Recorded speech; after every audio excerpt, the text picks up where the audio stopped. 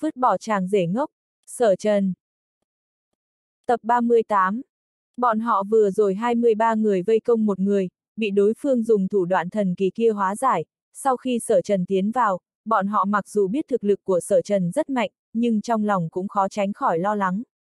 Nhìn thấy hình ảnh toàn bộ đại sảnh hỗn độn vô cùng, tất cả mọi người đều kinh ngạc, một trận này giống như động đất. Khi ánh mắt rơi vào trên người sở trần, ánh mắt mọi người nhất thời nóng rực lên. Tên không rõ lai lịch này, bị sở đội chế phục. Nhốt hắn lại, đưa hắn xuống. Sở trần trầm giọng mở miệng, không thể xem nhẹ, nhưng ngàn vạn lần đừng xảy ra chuyện ngoài ý muốn. Sở đội yên tâm, tuyệt đối không có gì ngoài ý muốn. Nếu như kẻ địch bị còng tay bọn họ đều không có cách nào ứng phó, bọn họ cũng hổ thẹn với danh hiệu đội dự bị cục đặc chiến. Sở Trần đi ra khỏi biệt thự này, thần sắc ngưng trọng. Anh vừa rồi thẩm vấn khâu lâm vài câu, biết thân phận của một người khác. Triệu Phong Vũ, hộ pháp phái thiên cơ, con gái hắn Triệu Xuân Yến chính là một trong số người bị cục đặc chiến mang đi đêm đỏ. Đám người Triệu Xuân Yến liên quan đến vụ án diệt môn kinh thành, đời này muốn ra khỏi phòng giam cơ hồ là không có khả năng, nhưng Triệu Phong Vũ tuyệt đối sẽ không từ bỏ ý đồ. Khó trách Khâu Lâm vừa nhìn thấy anh liền muốn giết anh, Sở Trần có thể tưởng tượng được, nếu anh xuất hiện trước mặt Triệu Phong Vũ, đối phương cũng muốn đẩy anh vào chỗ chết. Bất kể là bởi vì thiên cơ huyền đồ, hay là bởi vì con gái của hắn Triệu Xuân Yến. Thậm chí, còn có mối thù truyền kiếp giữa phái thiên cơ và cửu huyền môn. Nhất định hai bên không thể cùng tồn tại, sẽ không chết không thôi. Đại đệ tử đã là tiên thiên đỉnh phong, hộ pháp của Triệu Phong Vũ nhất định là võ đạo tông sư. Trong đầu sở trần nhanh chóng suy nghĩ, lập tức lấy điện thoại ra, gọi điện thoại cho sở khai bình, nhị thúc, cục đặc chiến ở Dương Thành có cao thủ võ đạo tông sư không? Sở trần muốn thừa dịp cơ hội này, một lần hành động nhổ bỏ nguy cơ này. Bị một kỳ môn cường giả cấp bậc võ đạo tông sư nhìn chằm chằm, đây cũng không phải là một chuyện tốt. Người có hành động, sở khai bình hỏi, sở trần nói ra đại khái chuyện triệu phong vũ tìm tới cửa. Phái thiên cơ, thật sự là tự tin a. À. Sở khai bình cười ha hả, ngay cả cục đặc chiến cũng dám xông vào, ngày thường quả thật không có võ đạo tông sư nào ở trung tâm, đại đa số đều đi ra ngoài chấp hành nhiệm vụ hoặc là tự mình đi rèn luyện, nhưng, vừa lúc, nửa giờ sau sẽ có một võ đạo tông sư tới, các ngươi kiên trì nửa giờ là được. Nửa tiếng, sở trần gật đầu, không hỏi nhiều, lúc này gật đầu, không có vấn đề gì. Đúng rồi, võ đạo tông sư trợ giúp các người họ Giang, tên Khúc Phong, tính cách tương đối quái gở, cũng không thích nói chuyện, là một thanh lợi kiếm của thiên võng điện, sau khi hắn đến, ngươi chỉ cần nói cho hắn mục tiêu là được. Sở Khai Bình nhắc nhở một tiếng. Giang Khúc Phong, tính cách quái gở. Sở Trần Yên lặng nhớ kỹ. Dù sao, có hỗ trợ là đủ. Chỉ cần giữ chặt đối phương nửa giờ, điểm này, Sở Trần vẫn là có lòng tin. Đương nhiên, còn phải xem thấy đối phương trước, thử qua thực lực của đối phương. Ta lấy thuật quy định phạm vi hoạt động khóa lại thiên cơ huyền đồ, cho dù lúc trước hắn có thể cảm ứng được thiên cơ huyền đồ, hiện tại cũng rất khó cảm ứng được. Sở Trần ngẩng đầu đảo qua bốn phía, từng tòa biệt thự, Triệu Phong Vũ muốn lục soát xong, nửa giờ tuyệt đối không được, huống chi, hiện tại khắp nơi đều là bảo vệ đang tìm kiếm tung tích của Triệu Phong Vũ. Sở Trần trở về biệt thự, anh rể, bên ngoài có chuyện gì? Tống Thu khẩn cấp hỏi, thần sắc mấy người hoàng phủ nguyên cảnh cũng toát ra lo lắng. Người của phái thiên cơ xông vào, đã bắt được một người, còn có một người không biết tung tích.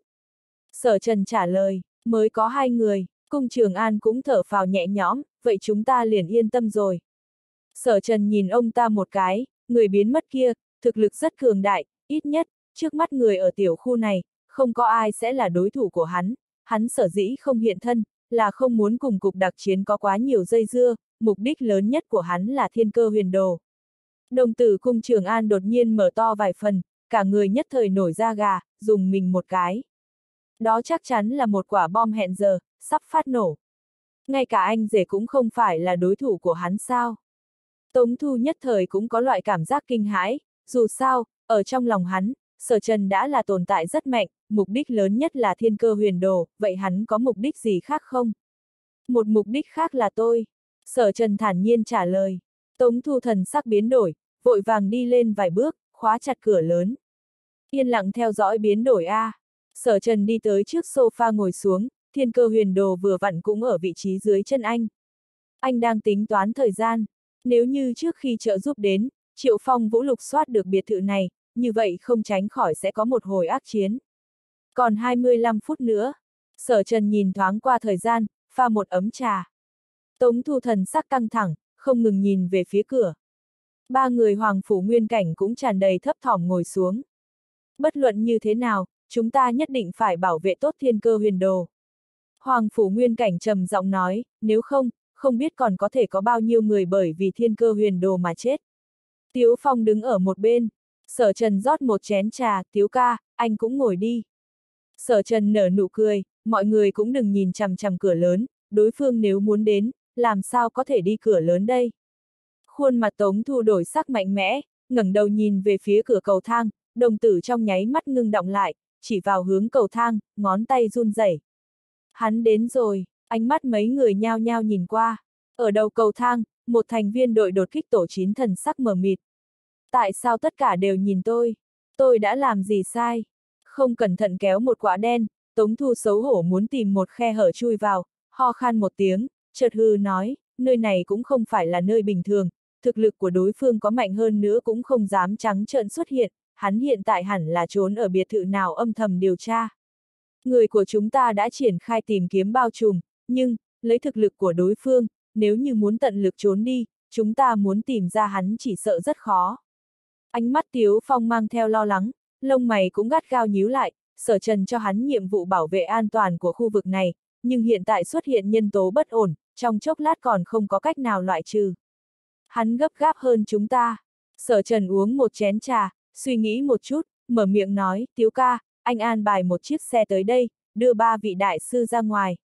Nghe vậy, Hoàng Phủ Nguyên Cảnh không khỏi sửng sốt, chợt lắc đầu, chúng ta ở lại đi, đối phương chỉ là hướng về phía thiên cơ huyền đồ mà thôi. Nếu như đối phương tìm được nơi này, đánh nhau sẽ xảy ra chuyện gì đều là không thể khống chế. Sở Trần kiên định ý tứ của mình, lực phá hoại thuật cách không của phái thiên cơ quá mạnh, huống chi, mọi người rời đi, còn có thể mang đến cho đối phương một ảo giác, cho rằng mọi người sẽ mang thiên cơ huyền đồ đi. Ánh mắt sở trần nhìn về phía Tiếu Phong, sau khi đưa ba vị đại sư ra ngoài, chú ý quan sát có ai theo dõi hay không, nếu có, liền nghĩ cách bắt được người theo dõi, hoặc là, theo dõi ngược lại. Đôi mắt sở trần lướt qua một đạo sắc bén, mục đích của anh là muốn một lưới bắt hết lực lượng của phái thiên cơ ở Dương Thành. Một lần vất vả suốt đời nhàn nhã anh sẽ không vĩnh viễn ở lại Tống Gia, ở lại thành phố này, sở trần muốn tiêu trừ tất cả tai họa ngầm tồn tại. Ba người Hoàng Phủ Nguyên Cảnh cũng không kiên trì nữa, lúc này gật gật đầu. Sở trần nhìn thoáng qua thời gian, còn 20 phút nữa. Sở trần trong lòng có chút tò mò cùng chờ mong, nhị thúc an bài tới cao thủ tính cách quái gở, là bộ dạng gì. Rất nhanh, một chiếc xe chậm rãi dừng ở cửa biệt thự. Sở Trần tự mình đưa ba người Hoàng Phủ Nguyên Cảnh lên xe. Sở đội, đích đến là nơi nào? Tiếu Phong hỏi một câu. Sở Trần suy nghĩ một chút, tùy tiện đi ra ngoài dạo một chút, một giờ sau trở về. Tiếu Phong giật mình, chợt ánh mắt lướt qua một đạo nóng rực. Ý của sở đội là, cho dù là dưới tình huống như vậy, anh cũng có thể nắm chắc trong vòng một giờ giải quyết vấn đề. Thật không hổ là tiền bối, điếu giả, bày mưu tính kế, tinh thông câu thuật, cá của anh phỏng chừng rất nhanh liền mắc câu đi. Sở Trần không nghĩ nhiều như Tiếu Phong, xoay người trở về biệt thự, trong lúc bất chợt, bên tai truyền đến một trận quyền phong cấp bách. Đồng tử sở Trần đột nhiên co rụt lại, chân đạp càn khôn, thuật dịch chuyển, tránh được thế công của một quyền này, ghé mắt nhìn lại, nhướng mày, người công kích anh, dĩ nhiên là Tống Thu. Anh rể, cứu mạng, Tống Thu hô to lên, đồng thời thuận tay cầm lấy một con dao gọt hoa quả trên mặt bàn, bổ tới sỏ, Trần, em, em, em không thể kiểm soát cơ thể mình.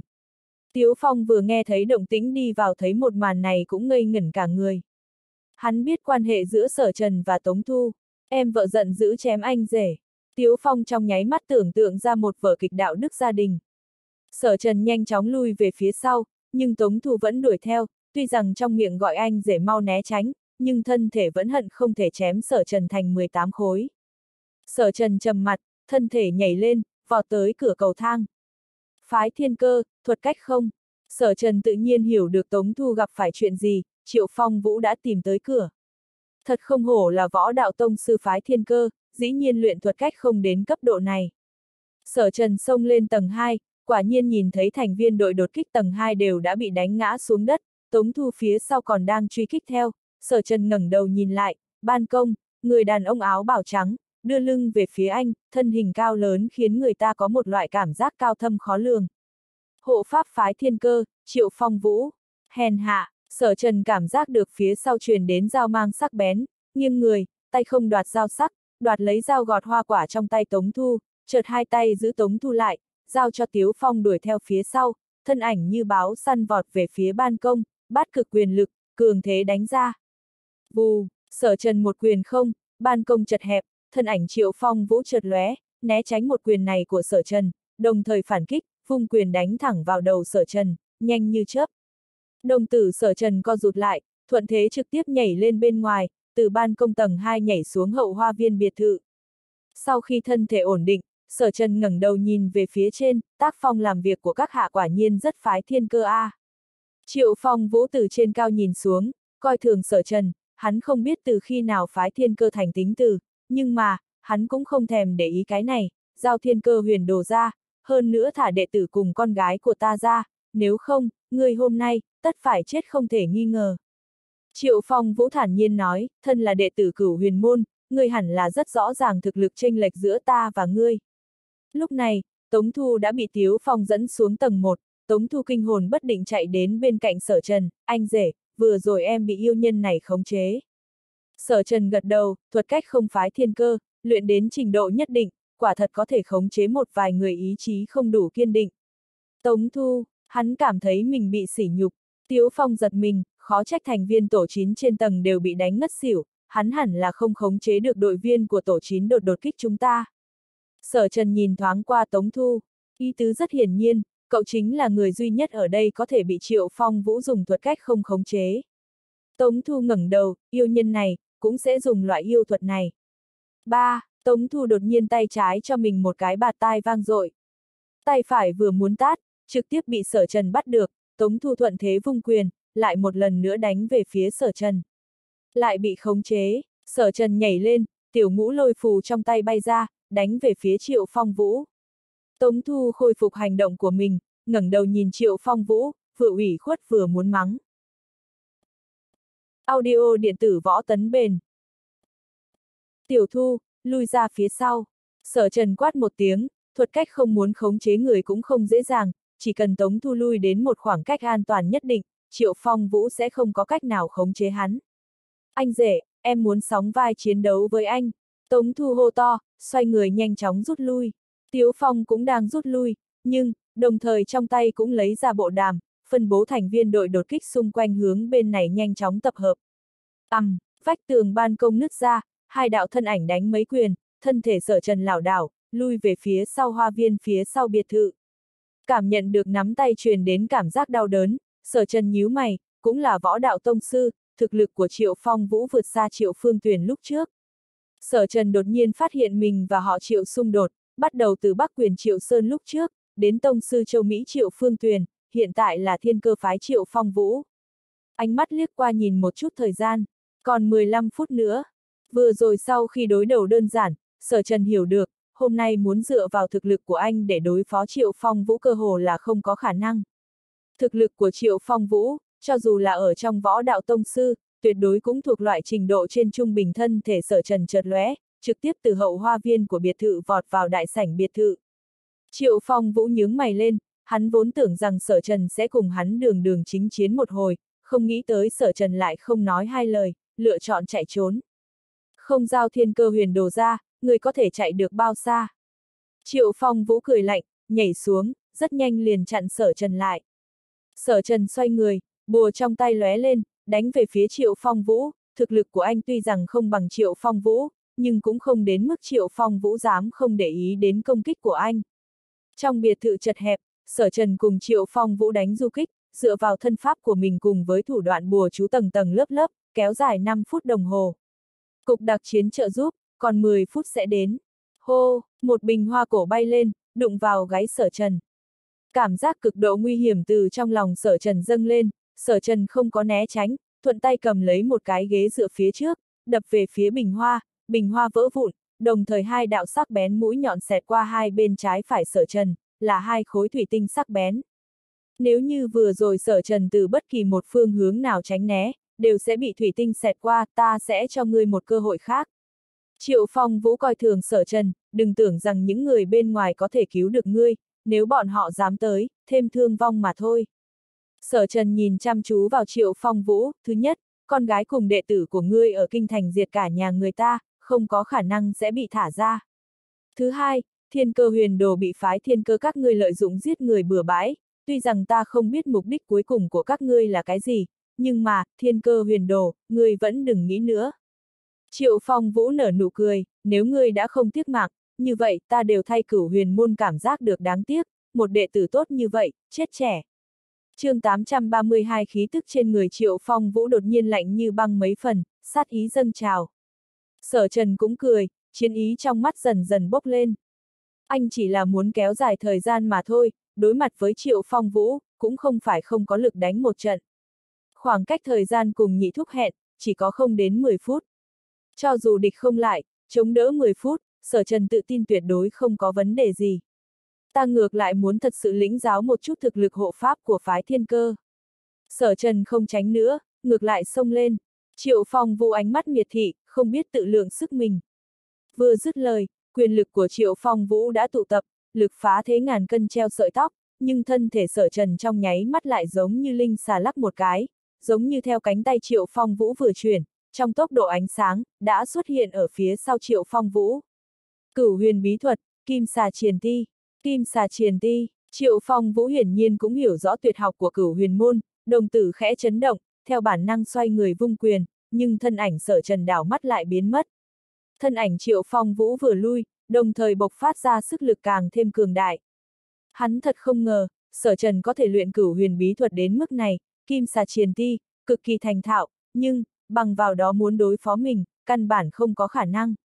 Triệu Phong vũ phá vỡ kim xà triền ti, hóa quyền thành trưởng, trưởng đao giống như lực bổ hoa sơn, khí thế hung mãnh.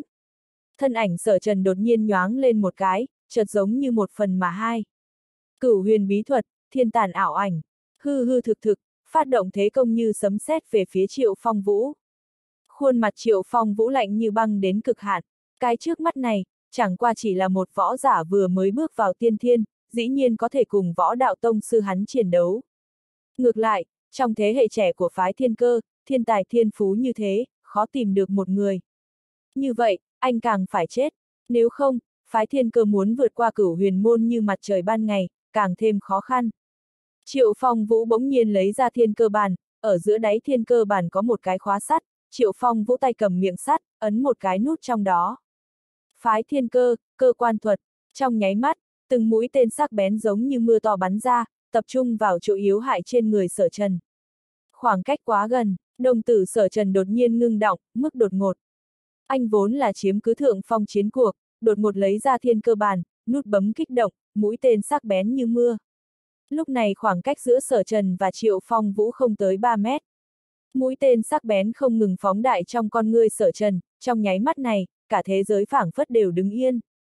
Vù, vù, vù, mũi tên nhìn như trực tiếp xuyên thấu thân thể sở trần, nhưng ý cười trên khuôn mặt triệu phong vũ lại dần dần ngưng động, không thể tin nhìn về phía trước.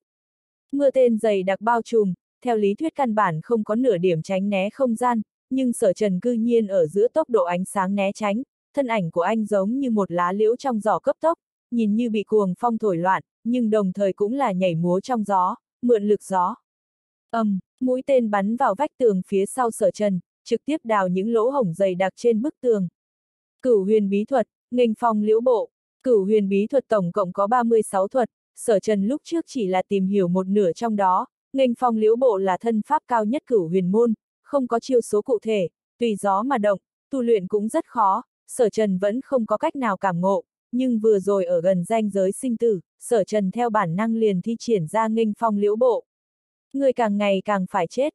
Triệu phong vũ đôi mắt sát khí lộ ra, cửu huyền bí thuật tập hợp nhiều học thuật, có kỳ môn chi thuật, cũng có tuyệt kỹ trong tuyệt học chấn môn đại phái chính thống, cho dù là trong cửu huyền môn, cũng không phải đệ tử nào cũng có tư cách tu luyện cửu huyền bí thuật.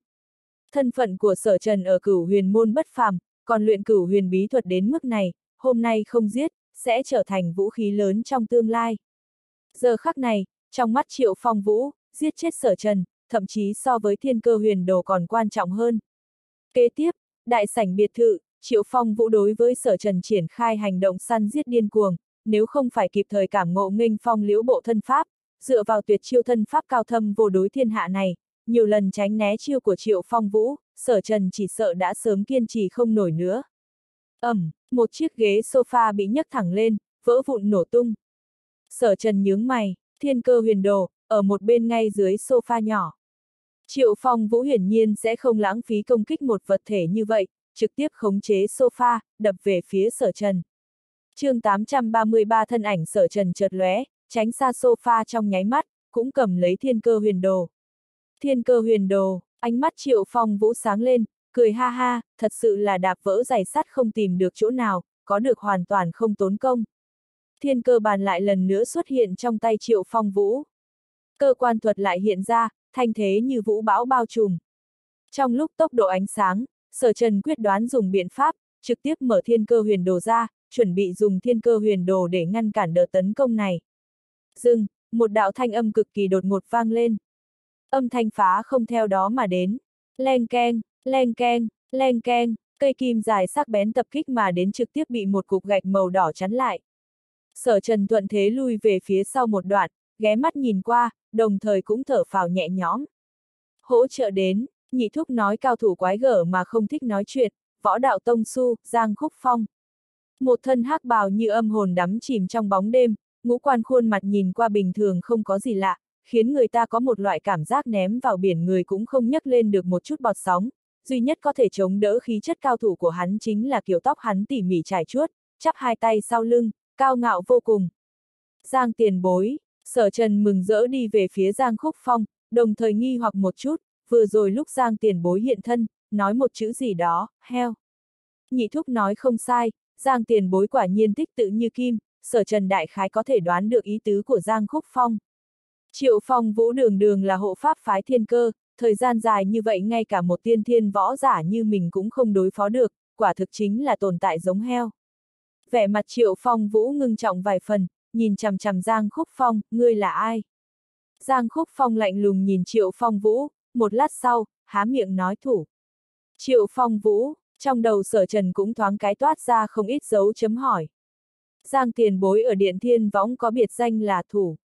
Sở trần trong lúc bất chợt nghĩ đến khả năng này, dù sao, anh ở Thiên Võng Điện có biệt danh là điếu giả. Giang tiền bối cũng thật sự quá tiếc chữ, từ lúc hiện thân đến bây giờ, cũng chỉ nói hai chữ, một chữ, heo, một chữ ơ thủ, còn người sở trần trong lúc bật chợt mở to vài phần. Dừng, tay, sở trần nhìn Giang Khúc Phong, một lúc lâu sau, khuôn mặt không cách nào kìm lòng hung hăng co giật một chút. Vút, vút, vút, Triệu Phong Vũ đã khởi động thiên cơ bàn lần nữa, trong khoảnh khắc, thế công như thủy triều. Điêu, thanh âm quát xuống, một thân hắc bào như bị cuồng phong quét lên, phù vù mà động, đối mặt với thuật cơ quan trùng kích, Giang Khúc Phong không lùi mà tiến, song trưởng cứng rắn như kim cương, dĩ nhiên dùng lực lượng hai trưởng ngăn cản mũi tên bao trùm mà đến. Sở Trần chú ý hai tay Giang Khúc Phong, cũng không đeo bất kỳ loại hộ cụ nào. Giang Khúc Phong tu luyện công phu hẳn là các loại công phu cứng rắn thiết xa trưởng, hơn nữa đạt tới cảnh giới nhất định. Mạnh như vũ bão, cơ quan thuật của Triệu Phong Vũ không chịu nổi một kích trước mặt Giang Khúc Phong. Nhưng một từ trước khi Giang Khúc Phong công kích, khiến Triệu Phong Vũ cảm thấy bị vũ nhục. Đây rõ ràng là đang cố ý chế nhạo trào phúng cơ quan thuật của hắn. Khuôn mặt Triệu Phong Vũ lạnh lẽo, đột nhiên nhảy lên, thân hình khôi ngô bộc phát ra vài phần hung tính, hai tay thành chảo, kèm theo một tiếng giống to. Tam đại tuyệt học phái thiên cơ, thuật cách không, cơ quan thuật cùng với thần hổ quyền, lấy hổ làm hình, tung người nhảy lên, như mãnh hổ xuống núi, khí thế bất phàm. Trùng, Giang Khúc Phong nói, Triệu Phong vũ toàn lực bộc phát, đôi mắt khó nén lửa giận. Thần hổ quyền, từng có cường giả phái thiên cơ tu luyện tới cực hạn, luyện ra thế hổ, gần như vô địch với giới võ giả, cuối cùng vẻn vẹn chỉ một chiêu tích bại cường giả cửu huyền môn, tuyệt học như vậy, giới võ giả người nghe thấy biến sắc, người trước mắt này lại gọi nó là trùng. Đây không thể nghi ngờ là nhục nhã cực lớn đối với thần hổ quyền. Có thể nhẫn nại nhưng không thể nhẫn nhục, phải biết rằng, tại thời khắc triệu phong vũ thi triển thần hổ quyền, liền quyết định muốn lật lá bài tẩy của mình ra. Không biết, còn gặp phải khinh thị, thần hổ quyền cương mãnh vô cùng, như liệt hỏa thiêu đốt, quyền lực đại khai đại hợp vừa vặn giống công phu cứng rắn của Giang Khúc Phong, Giang Khúc Phong cũng thích đối thủ như vậy nhất, đôi mắt phát sáng, thiết trưởng đánh ra, trong lòng hô to thỏa mãn. Dầm dầm dầm, chiến đấu giữa hai cường giả cấp bậc võ đạo tông sư. Sở trần đứng một bên, nội tâm lại có loại cảm giác phảng phất bị vô số ngón tay cào, nghẹn đến có chút khó chịu. Giang tiền bối còn lại hai chữ đến tột cùng khi nào mới có thể nói ra. Từ lúc Giang Khúc không nói chữ đầu tiên, sở trần liền đoán được hắn muốn nói cái gì. Nhưng mà, theo chiến đấu giữa hai người càng lúc càng kịch liệt, hai bên tựa hồ đều mình đồng ra sắt, không cách nào công phá phòng ngự của đối phương. chương 834 bụp, bụp, cả hai tay chạm vào nhau dưới đáy quần cùng một lúc. Hai bên đều nghĩ đến, công kích điểm yếu ớt nhất của đối phương, càng dễ dàng đánh bại đối phương. Ánh mắt Giang Khúc Phong cũng hiện lên một tia tiếc nuối, nhỏ. Triệu Phong Vũ, điều này cũng quá xúc phạm. Triệu Phong Vũ nổi giận cuồng kích, người nói cái gì nhỏ. Giang Khúc Phong mở miệng kỹ. Nói xong, Giang Khúc Phong cũng thở phào nhẹ nhõm, nói chuyện quá khó khăn. Nhưng mà mặt Triệu Phong Vũ hoàn toàn đen sầm, tốt xấu gì cũng là võ đạo tông sư, cư nhiên trong miệng lại dán một chữ, gà, gà con. Nội tâm Triệu Phong Vũ bị 100 vạn bạo kích, đây là cao thủ gì, không hề có phong độ đáng nói. Triệu Phong Vũ bất chấp tất cả, cũng chửi hét lên, người mới nhỏ, cả nhà ngươi gà con. Đồng tử Giang Khúc Phong mở to, đánh nhau xong lại mang người sao khinh người quá đáng, Giang Khúc Phong không nói lời nào, liền vung trưởng lên, trưởng lực hùng hậu, chỉ nói về sức lực, sức lực của Giang Khúc Phong còn ở trên Triệu Phong Vũ, toàn lực ứng phó, trực tiếp chấn áp thần hổ quyền của Triệu Phong Vũ, hổ uy không vượng, thật sự phảng phất như bị đè thành một con sâu. Triệu Phong Vũ trong lòng kinh hãi, càng thầm hận, thiên cơ huyền đồ gần trong gang tấc, sở trần cũng ở trước mặt, nhưng hắn lại bị cao thủ áo đen không chút phong độ ngăn cản, cứ tiếp tục như vậy, đừng nói giết người đoạt đồ, mình có thể thành công rút lui về phía sau hay không cũng khó. Triệu Phong Vũ đột nhiên lui về phía sau một đoạn. Giang tiền bối, đừng để hắn chạy. Sở Trần vội vàng hô to. Giang Khúc Phong nhìn Triệu Phong Vũ chạy. Đồng tử Triệu Phong Vũ co rụt lại, vừa định xoay người lại dừng lại, hắn thế nhưng còn để cho mình chạy. Nhất định có bẫy. Triệu Phong Vũ cảnh giác nhìn chằm chằm Giang Khúc Phong, hành động hôm nay lật thuyền, hắn có thể tưởng tượng được tình huống hiện tại của đại đệ tử Khưu Lâm của mình, nhất định đã bị bắt. Hơi trần chờ một chút, Triệu Phong Vũ liền mất đi cơ hội tốt nhất để chạy trốn, Giang Khúc Phong mạnh mẽ đè lên, thiết trưởng đập mạnh vào mặt Triệu Phong Vũ. Đồng tử Triệu Phong Vũ mở to, không. Giang Khúc Phong nói, thân thể Triệu Phong Vũ kịch liệt co rút một chút, hắn có loại cảm giác bị cướp lời thoại. Trong lúc tốc độ ánh sáng, Triệu Phong Vũ không thèm để ý đến phong thái cao thủ của võ đạo tông sư, một chiêu lửa lăn lộn trên mặt đất liên tục tránh thoát một trường này, chật vật không thôi. Sở Trần nhìn ở trong mắt, nhịn không được cảm thán một tiếng. Quả nhiên thực lực mới là đạo lý quyết định, vừa rồi triệu phong vũ hăng hái cỡ nào, bộ dáng cao cao tại thượng, không ai bì nổi, nhưng sau khi Giang tiền bối chạy tới, thực lực của hắn ở trước mặt Giang tiền bối không nhắc tới, hiện tại bị đánh cho chạy trối chết. Rồi, Giang khúc phong xài bước sông về phía triệu phong vũ, trưởng phong cương liệt đánh tới trước mặt. Triệu Phong Vũ kiên trì chống đỡ, toàn lực ngăn cản thế tấn công của Giang Khúc Phong, nhưng Trung Quy vẫn không địch lại, ngực gặp phải một quyền của Giang Khúc Phong, thân hình bay ngang lên, đụng vào vách tường biệt thự, vách tường chấn động một chút, xuất hiện một vết nứt. Kế tiếp chính là lúc Giang Khúc Phong thu thập chiến trường, thừa thắng xông lên, Triệu Phong Vũ không còn năng lực phản kháng, trên người bị một quyền lại một quyền công kích, cuối cùng bị Giang Khúc Phong một quyền bay ra khỏi cửa biệt thự, Tiếu Phong ở bên ngoài canh giữ cùng các thành viên đội đột kích vũ trang hạng nặng nhất thời vây quanh, một đám hỏng súng đen kịt nhắm ngay Triệu Phong Vũ. Khóa lại, Tiếu Phong trầm giọng hạ lệnh, khi hai tay hai chân Triệu Phong Vũ đều bị còng tay, hơn nữa còn do mấy thành viên đội đột kích bắt giữ, Tống Thu rốt cục cũng dám tới, nhìn Triệu Phong Vũ, phi một tiếng, lão yêu nhân, ông cũng không nghĩ tới mình sẽ thất thủ đi. Tống Thu suy nghĩ một chút, có chút khó hiểu hận, giơ tay tát Triệu Phong Vũ một cái, đây là trả lại cho ông, còn không thu lãi của ông. Triệu Phong Vũ vốn bị thương nặng, bị một cái tát này của Tống Thu đánh cho ong ong, ánh mắt tràn ngập oán hận phẫn nộ nhìn chằm chằm Tống Thu. Ngày thường, hắn căn bản không để nhân vật nhỏ như Tống Thu ở trong mắt, nhưng hiện tại, lại bị nhân vật nhỏ như vậy tát vào mặt. Triệu Phong Vũ giấy rụa, gầm gừ, hận không thể ăn tươi nuốt sống Tống Thu. Đoàng hoàng một chút, Tiếu Phong thấy thế, một đao bổ về phía sau lưng Triệu Phong Vũ. Sở Trần đi ra cửa biệt thự, liếc mắt nhìn Triệu Phong Vũ, lập tức nói trước tiên mang hắn xuống. Tống Thu điên cuồng đi tới trước mặt sở trần, anh rể, anh còn nói đánh không lại hắn, cái này cũng quá khiêm tốn đi. Tống Thu vẫn nhìn từ xa, lúc Giang Khúc Phong ra tay đối phó Triệu Phong Vũ là ở đại sảnh biệt thự, hắn không nhìn thấy. Sở Trần quay đầu lại, nhìn thấy người đàn ông mặc áo choàng đen lại đứng chắp tay sau lưng một cách thờ ơ trong đại sảnh, lập tức mở miệng nói, không phải tôi, là Giang tiền bối xuất thủ, giải quyết phiền toái nhỏ này. Ánh mắt Giang Khúc Phong nhìn sở trần, mang theo thưởng thức. Tiểu tử này rất biết nói chuyện a, à, chỉ là phiền toái nhỏ. Tống thu thần sắc cả kinh, ánh mắt nhìn về phía Giang Khúc Phong, nhất thời toát ra khâm phục, sải bước đi tới, Giang tiền bối tốt, tôi là Tống Thu. Giang Khúc Phong hơi gật đầu, đáp lại. Tống Thu giật mình, nhìn Giang Khúc Phong. chương 835 nhưng, Tống Thu rất nhanh cũng bừng tỉnh, phản ứng trở về, đối phương ngay cả loại lão yêu nhân biết yêu thuật như Triệu Phong Vũ cũng có thể đánh bại, hẳn là loại nhân vật như thần thiên tỷ tỷ, tự nhiên sẽ không để ý tới nhân vật nhỏ như hắn. Nghĩ thông suốt điểm này, khuôn mặt Tống Thu một lần nữa nổi lên nụ cười, Nhu Thuận đứng ở một bên, Tiếu Phong dẫn theo thành viên đội đột kích tiến vào quét dọn hiện trường chiến đấu, nhìn một mảnh hỗn độn, thần sắc đều toát ra chấn động, có thể tưởng tượng được. Cảnh chiến đấu trong phòng vừa rồi đáng sợ cỡ nào. Hầu như tất cả các biệt thự đều bị phá hủy. Không ít ánh mắt đều thỉnh thoảng quét về phía Giang Khúc Phong, bọn họ đều chính tay nghe sở trần nói, là Giang Khúc Phong đánh bại Triệu Phong Vũ. Loại cường giả cấp bậc này, bình thường cũng không dễ dàng đụng phải cảm nhận được rất nhiều ánh mắt nhìn lướt qua, hắc bào của Giang Khúc Phong khẽ đong đưa, chắp hai tay sau lưng, không có nhìn thẳng vào bất kỳ một người nào. Sở Trần đi tới trước mặt Giang Khúc Phong, cảm ơn Giang tiền bồi. Giang Khúc Phong ngược lại biết thân phận của Sở Trần, nghe vậy, gật đầu, không.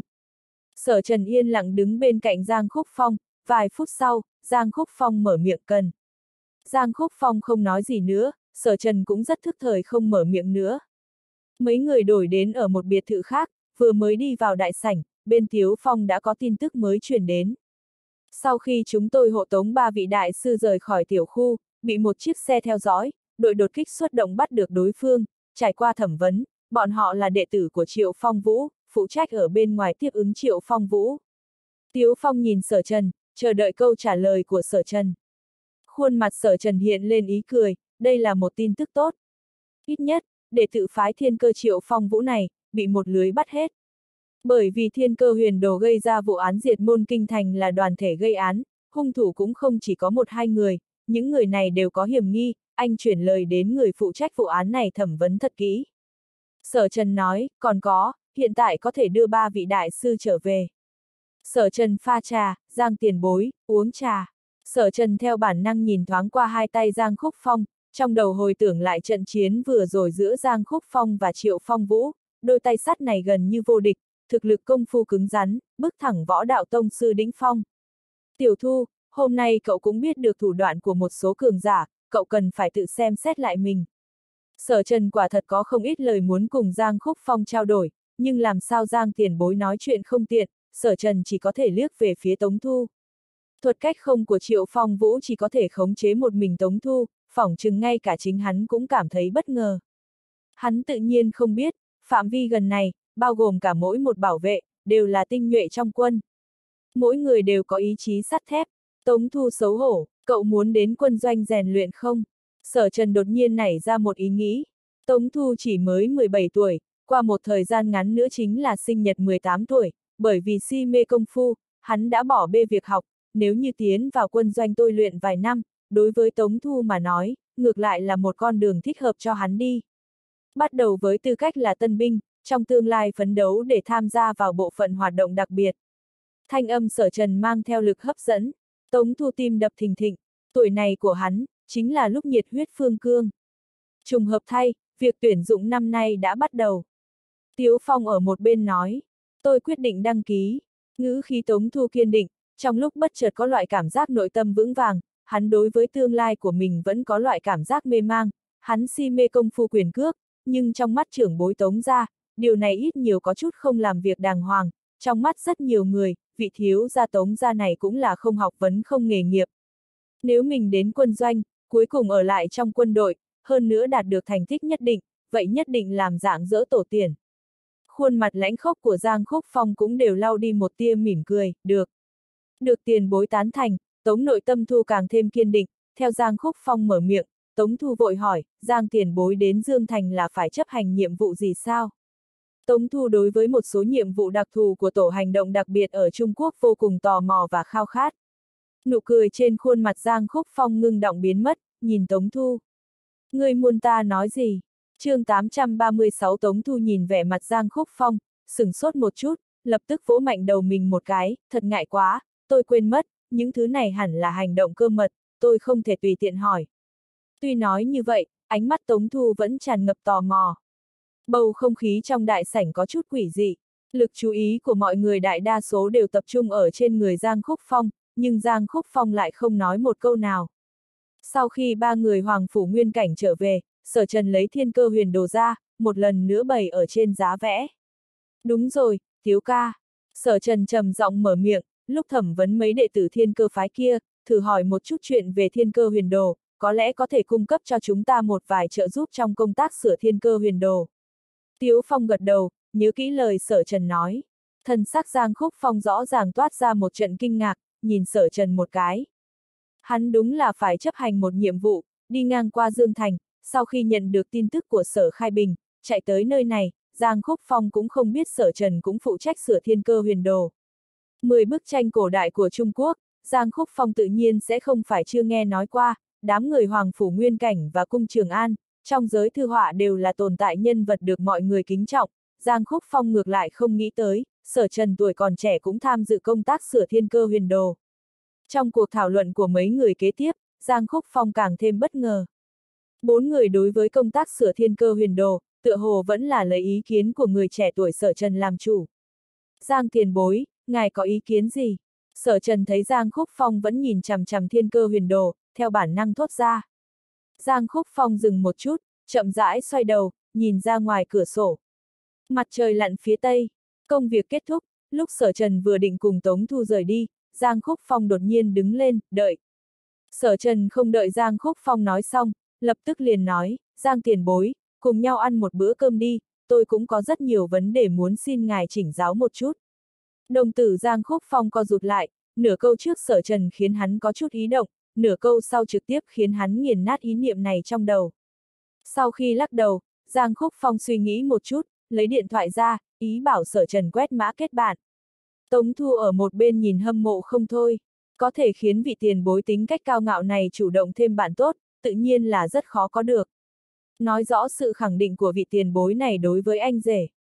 Tống Thu tuy rằng cũng muốn quét mã, nhưng cuối cùng vẫn là lý trí chiến thắng kích động, ánh mắt nhỏ ai oán nhìn hai người quét mã thêm bạn tốt. Sở Trần vừa lên xe, lập tức nhận được tin tức của Giang Khúc Phong. Giang Khúc Phong, có một nhiệm vụ, có hứng thú cùng nhau hoàn thành hay không? Sở Trần giật mình, Giang Khúc Phong mời anh cùng nhau chấp hành nhiệm vụ, điều này có chút ngoài dự liệu của anh, dù sao, với thực lực của Giang Khúc Phong, anh muốn đi hoàn thành nhiệm vụ, bản thân có thể cung cấp trợ giúp hẳn là không lớn. Nhưng, Sở Trần cũng tò mò, loại võ giả cấp bậc như Giang Khúc Phong phải đi chấp hành sẽ là nhiệm vụ gì? Nhiệm vụ gì? Sở Trần trả lời một câu, suy nghĩ một chút, lại bổ sung một câu, đây là vinh hạnh của tôi. Bắt đạo tặc hỏa yến. Tin tức của Giang Khúc Phong rất nhanh đã gửi tới, tư liệu cụ thể của hắn người mở phía sau đài cục đặc chiến có thể tìm được, có tin tức đáng tin cậy hỏa yến đi tới Dương Thành, rất có thể là hướng về phía thiên cơ huyền đồ mà đến. Đạo tặc hỏa yến, sở trần thốt lên, Tống Thu lái xe bên cạnh đột nhiên quay đầu nhìn sở trần một cái, anh rể, sao anh lại đột nhiên nhắc tới đạo tặc hỏa yến? Hiệp đạo, sở trần tò mò, một bên mở phía sau đài cục đặc chiến, đồng thời hỏi, cậu đã nghe qua người này chưa? Đương nhiên, xa không đề cập tới, chỉ riêng sự kiện mất tranh của bảo tàng nữ nghiệp chấn động thế giới năm ngoái, khiến cho bao nhiêu người nhớ kỹ cái tên đạo tặc hỏa yến.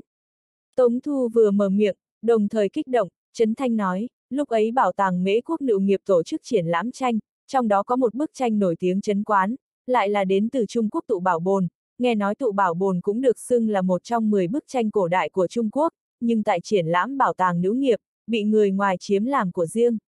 Năm ngoái, tin tức triển lãm tranh của bảo tàng nữ nghiệp vừa xuất hiện, đã náo động cả nước, có không ít thương nhân ở Trung Quốc đều nhao nhao ra giá, muốn mua bức tranh tụ bảo bồn mất tích nhiều năm này về, nhưng đều bị đối phương cự tuyệt. chương 837 ánh mắt Tống Thu toát ra một trận nóng rực, nhưng ngay đêm trước ngày cuối cùng triển lãm tranh, tụ bảo bồn không cánh mà bay, hiện trường bị trộm còn lưu lại 8 chữ, vật về nguyên chủ, hỏa yến Trung Quốc từ đó, danh tiếng của hỏa yến Trung Quốc nổi lên, một vài sự tích trước kia của hắn cũng bị đào bới ra, thì ra, hỏa yến là một tên trộm tranh quốc tế, mấy năm qua trên thế giới đều phạm phải đại án, trộm đều là danh họa, người có tâm phân tích qua, hỏa yến trộm họa, trong đó không ít là danh họa Trung Quốc bị mất ở nước ngoài. Dần dần, dân gian liền có người hô lên danh hiệu hiệp đạo hỏa yến. Tống Thu tò mò, anh rể, sao anh đột nhiên nhắc tới hiệp đạo hỏa yến? Không phải là, khuôn mặt Tống Thu biến ảo một chút, hắn nghĩ tới một tầng thân phận khác của sở trần. Đừng hỏi, tập trung lái xe. Sở trần trả lời, khóe miệng Tống Thu giật giật, hắn quên rằng hắn chỉ là một công cụ.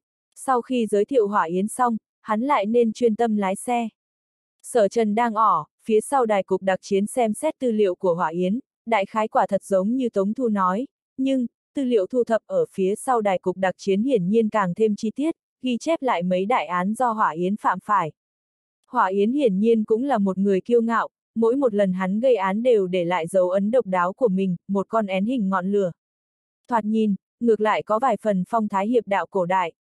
Sở Trần tự nói một tiếng, nhưng, Hỏa Yến làm việc hiển nhiên cũng vượt quá giới hạn, lần gần đây phạm án, dĩ nhiên là tháng trước tại hội nghị giao lưu thư họa kinh thành, trộm đi một bức tranh nổi tiếng. Từ tần suất Hỏa Yến gây án, càng ngày càng thường xuyên. Hiện trường Hỏa Yến lưu lại rất nhiều dấu vết cùng với phân tích thủ đoạn gây án của hắn, Cục đặc chiến suy đoán Hỏa Yến rất có khả năng là một vị võ đạo tông sư. Đạo tặc cấp bậc võ đạo tông sư. Sở Trần rốt cục hiểu được vì sao lại là Giang Khúc Phong chấp hành nhiệm vụ này. Tình huống bình thường mà nói, có thể đối phó võ đạo tông sư, chỉ có võ đạo tông sư. Về phần Giang Khúc Phong vì sao lại đột nhiên tìm anh liên thủ cùng nhau bắt hỏa yến, sở trần suy nghĩ một chút, đại khái là bởi vì anh ở lĩnh vực thư họa có thể cung cấp cho Giang Khúc Phong một vài trợ giúp. Tôi xem tư liệu của hỏa yến, ở đâu có thể tìm được hỏa yến. Sở Trần gửi tin nhắn cho Giang Khúc Phong. Giang Khúc Phong, sáng mai, phòng triển lãm Bà Châu, hỏa yến có thể xuất hiện. Sở Trần lập tức trả lời tin tức, không thành vấn đề, sáng mai chúng ta gặp mặt rồi bàn tình huống cụ thể. Cách nhau 3 phút, Giang Khúc Phong trả lời, không cân. Sở Trần vừa về đến nhà, xuống xe liền nghe thấy tiếng đàn dương cầm. Từ trình độ đàn mà nói, tống gia không có đại sư dương cầm như vậy, sở trần từ trong khúc dương cầm này cũng nghe thấy mùi vị quen thuộc, tiêu lãng tới rồi. Điều này khiến sở trần có vài phần bất ngờ. Tiêu lãng là nghệ sĩ dương cầm thiên tài hot nhất thế hệ mới trong giới dương cầm, lịch trình của cô có thể nói là vô cùng dày đặc, trong khoảng thời gian này sở trần cũng chưa từng gặp qua cô, tối nay tiêu lãng lại có nhã hứng như vậy, đến tống ra chơi đàn. Ai đang hát, lớn tiếng như vậy, khúc dạo đầu cũng quá dài. Tống thu lẩm bẩm một tiếng, tắt máy xuống xe. Sở trần nhìn hắn một cái, trong đầu bốn chữ to không xua đi được, đàn gảy tai châu. Giai điệu chính của khúc dương cầm chủ yếu là niềm vui và nhảy múa, mang lại cho mọi người một cảm giác cực kỳ thoải mái. Sở Trần cùng Tống Thu sóng vai đi vào đại sảnh, một bên đại sảnh, trước đàn dương cầm, một đôi ngọc thủ của tiêu lãng tựa như tinh linh nhảy múa nhảy lên đàn dương cầm, mười ngón tay gõ ra một bài dương cầm này, khiến người ta nghe như si như say. Bên cạnh cô, trên mặt dương tiểu Cần quấn băng gạc màu trắng, thoạt nhìn giống như một xác ướp, một đôi mắt rơi vào trên người tiêu lãng. Tình cảm của cô dành cho tiêu lãng rất đặc biệt. Lúc trước trong lúc tối tăm nhất trong cuộc đời cô, tiêu lãng là tia sáng duy nhất trong cuộc đời cô. Khi cổ trong cơ thể sẽ được cởi bỏ, đoạn ký ức này cũng theo đó bị xóa đi, tiêu lãng dùng bút viết chữ, miêu tả lại đoạn tình cảm này từng chữ từng chữ. Tiêu lãng và cô, tình như chị em. Tiêu lãng ngày thường tuy rằng rất bận rộn, nhưng hai người vẫn duy trì liên lạc thường xuyên. Nam Cung Quân đối với quá trình trị thương mặt Dương Tiểu Cần, Tiêu lãng cũng đều biết, đêm nay là ngày Dương Tiểu Cẩn sắp cởi băng gạc trên mặt, Tiêu lãng cũng từ chối tất cả công việc, đặc biệt chạy tới.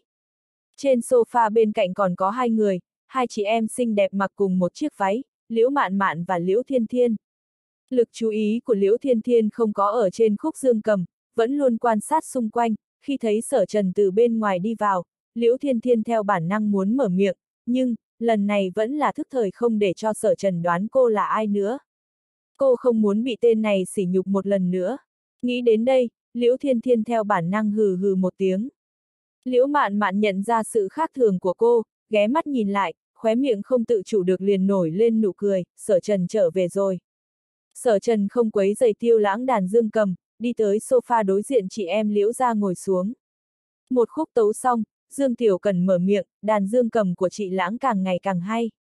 chương 838 tiêu lãng thản nhiên cười, đứng lên, ánh mắt cũng lập tức nhìn về phía sở trần, sở trần đàn dương cầm cũng không kém tôi. Vừa dứt lời, thần sắc của mấy người ở đây đều rõ ràng toát ra kinh ngạc. Sở trần còn biết chơi đàn dương cầm, Tô Nguyệt Nhàn vui vẻ mở miệng, con rể tốt này, bà càng ngày càng thích. Tiêu lãng cũng quá khiêm tốn rồi. Liễu Thiên Thiên liếc mắt nhìn sở trần một cái, cô không tin. Con người liễu mạn mạn rơi trên người sở trần, đây thật đúng là một nam hài bảo tàng, không đúng, là nam nhân bảo tàng. Sở thúc, ta nghe nói hôm nay xảy ra một chút chuyện. Ninh tử mặc đi tới. Chuyện nhỏ, sở trần khoát tay áo, lập tức nhìn Dương Tiểu Cần một chút, quân tỷ tỷ nói cụ thể thời gian nào tháo băng gạc không. Còn 2 tiếng 10 phút nữa, Ninh tử mặc thốt ra. Hắn vẫn luôn âm thầm đếm thời gian, chờ đợi kỳ tích xuất hiện. Phải biết rằng, trước khi Nam Cung quân xuất hiện, Ninh Tử mặc dẫn theo Dương Tiểu Cần đi khắp danh y, các chuyên gia bệnh viện lớn đều bó tay với vết thương trên mặt cô. Tâm tình Dương Tiểu Cần cũng rất căng thẳng, hai tay vẫn âm thầm nắm chặt góc áo mình. Cô không cầu có thể khôi phục như lúc ban đầu, chỉ hy vọng sau này có thể để cho mình đi ra ngoài, sẽ không bị ánh mắt khác thường. Nói như vậy, Ninh Tử mặc cũng sẽ bớt gánh chịu một chút áp lực. Tiểu Cần, bây giờ em cảm thấy thế nào? Tiêu lãng hỏi, Dương Tiểu Cần suy nghĩ một chút, nói thuốc của thần tiên tỷ tỷ rất thần kỳ, từ ngày đầu tiên đắp lên, vẫn có loại cảm giác mát mẻ, chưa từng mất đi. Thần tiên tỷ tỷ nhất định có thể sáng tạo kỳ tích. Ngữ khí tống thu dị thường kiên định, bên ngoài có người bước vào. Khuôn mặt sở trần mỉm cười đi tới, nắm tay tống nhan, bà xã tan làm rồi a, à, vất vả rồi. Liễu thiên thiên lại hừ hừ một tiếng. Tống nhan bị ngón tay sở trần gõ nhẹ trong nháy mắt, có loại cảm giác dị thường sông lên, sắc mặt hơi đỏ lên, hai ngày nay bị sở trần dày vò quá nhiều. Mọi người đều về rồi, ăn tối trước đi. Tô Nguyệt Nhàn đứng lên. Sau một bữa cơm, còn một tiếng rưỡi nữa là vén tấm khăn che cho Dương Tiểu Cẩn. Sở Trần và Liễu Mạn Mạn đi tới thư phòng, anh không quên đây là thời gian truyền thụ kỹ năng song tiên nhập thần cho của Liễu Mạn Mạn. Thư phòng đêm nay đặc biệt yên tĩnh, ngay cả Liễu Thiên Thiển cũng ở bên ngoài góp vui. Liễu Mạn Mạn hai tay đều cầm bút, một bên nghe Sở Trần dạy, một bên thử đặt bút. Nhưng, hiển nhiên, kỹ năng vẽ song tiên nhập thần không dễ dàng hiểu rõ như vậy, không đến nửa giờ, Liễu Mạn Mạn đã vất đi hơn 10 tờ giấy trắng.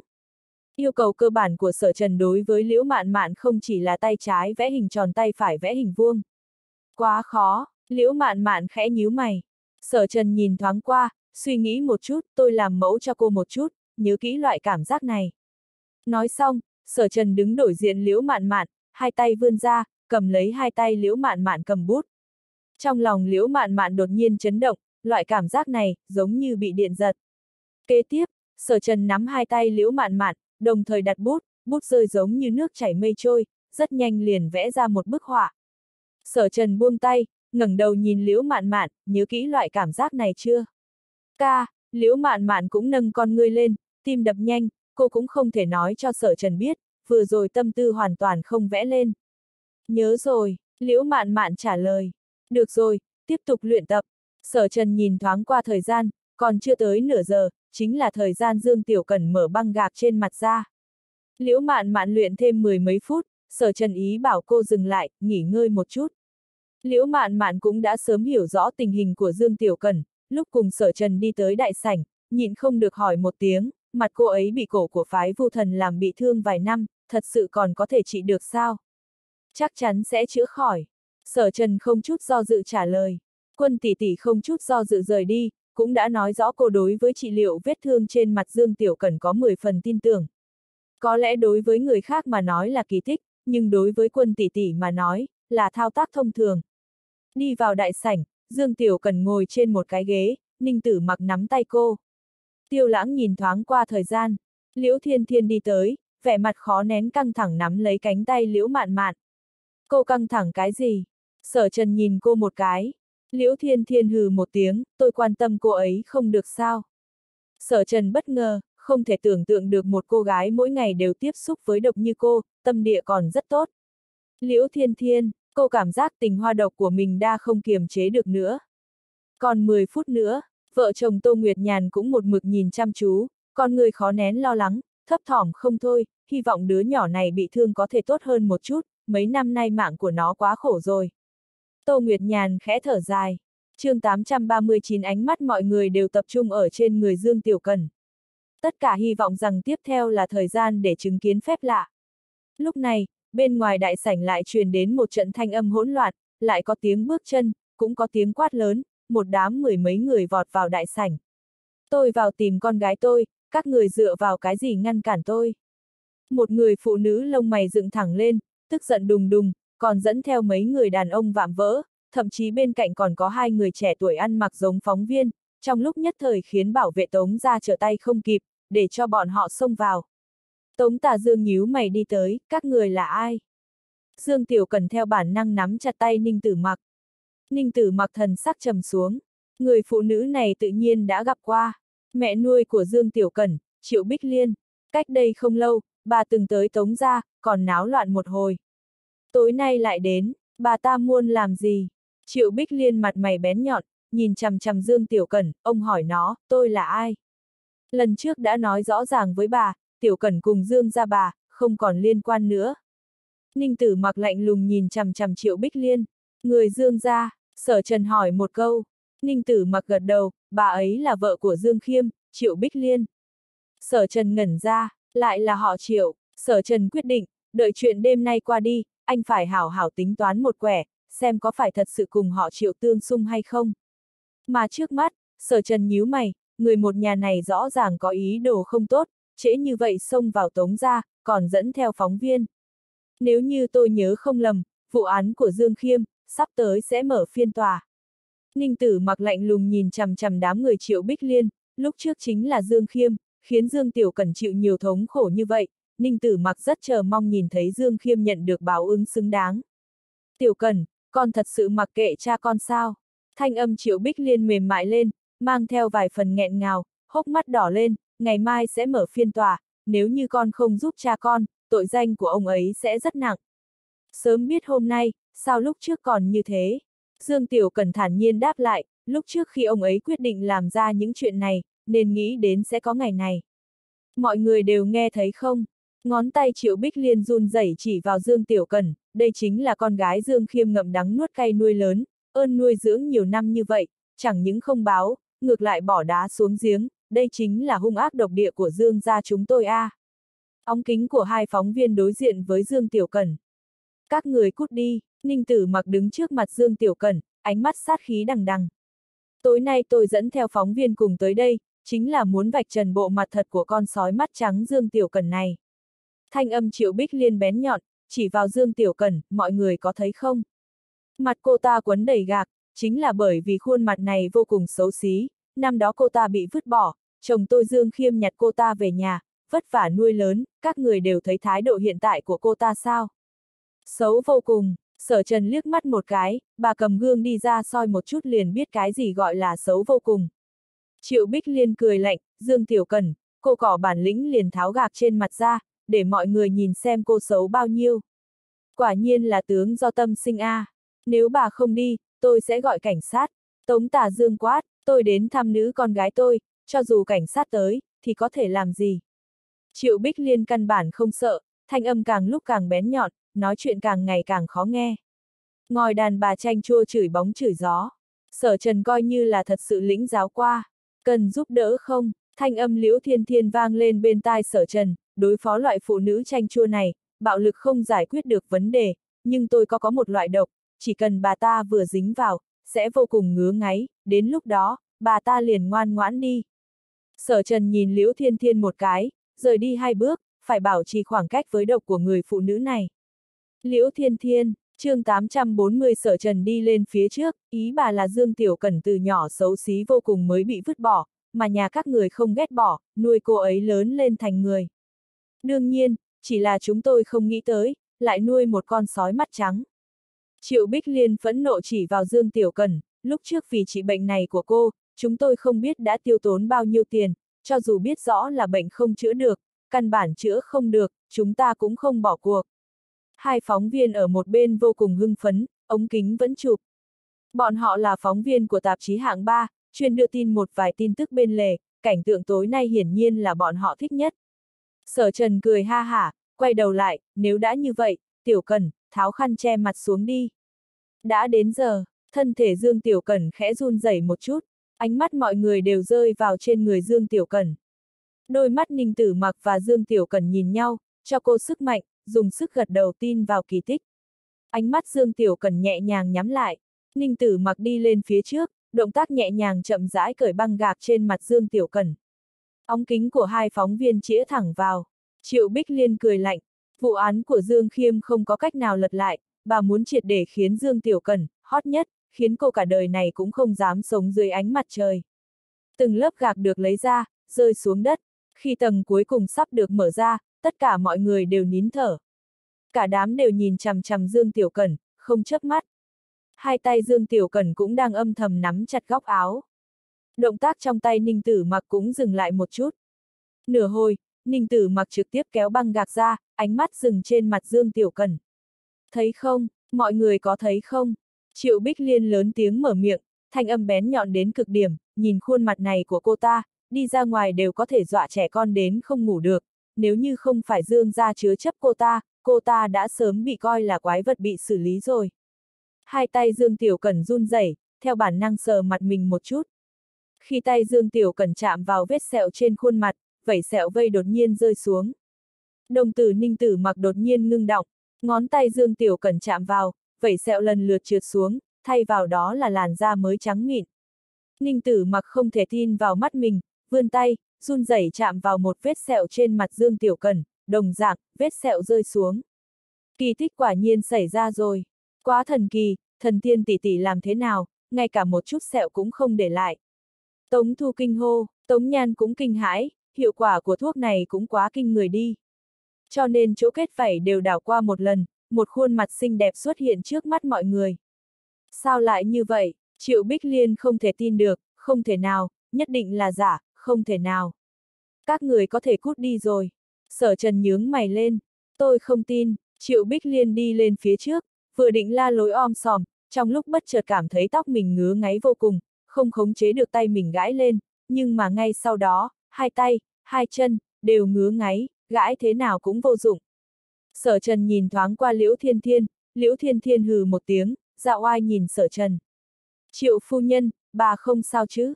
Một trong những phóng viên hỏi. a à, không được, tôi không thể chịu được nữa rồi. Tay Triệu Bích Liên đã chảy máu, mau đưa tôi đến bệnh viện. Triệu Bích Liên xoay người liều liêu đi ra ngoài, ngứa quá ngứa quá. Hai phóng viên cũng vội vàng xoay người đi theo, nhưng mà, mới vừa đi được vài bước, dưới chân tựa hò bị vấp phải cái gì đó, không hề báo trước mà ngã xuống đất, camera trong tay trực tiếp bị đập vỡ. Tôi, ngày, hai phóng viên nóng nảy, tối nay được một mất mười. Mấy người còn lại cũng rời đi theo. Một trò hề đã kết thúc, ánh mắt mọi người lại một lần nữa rơi vào trên người Dương Tiểu Cẩn. Dương Tiểu Cẩn đã khóc, một tay cầm gương, một tay vuốt ve mặt mình, không thể tin vào mắt mình. Khuôn mặt của cô, đã khỏi. Chúc mừng em, Tiểu Cần. Tiêu lãng cười mở miệng.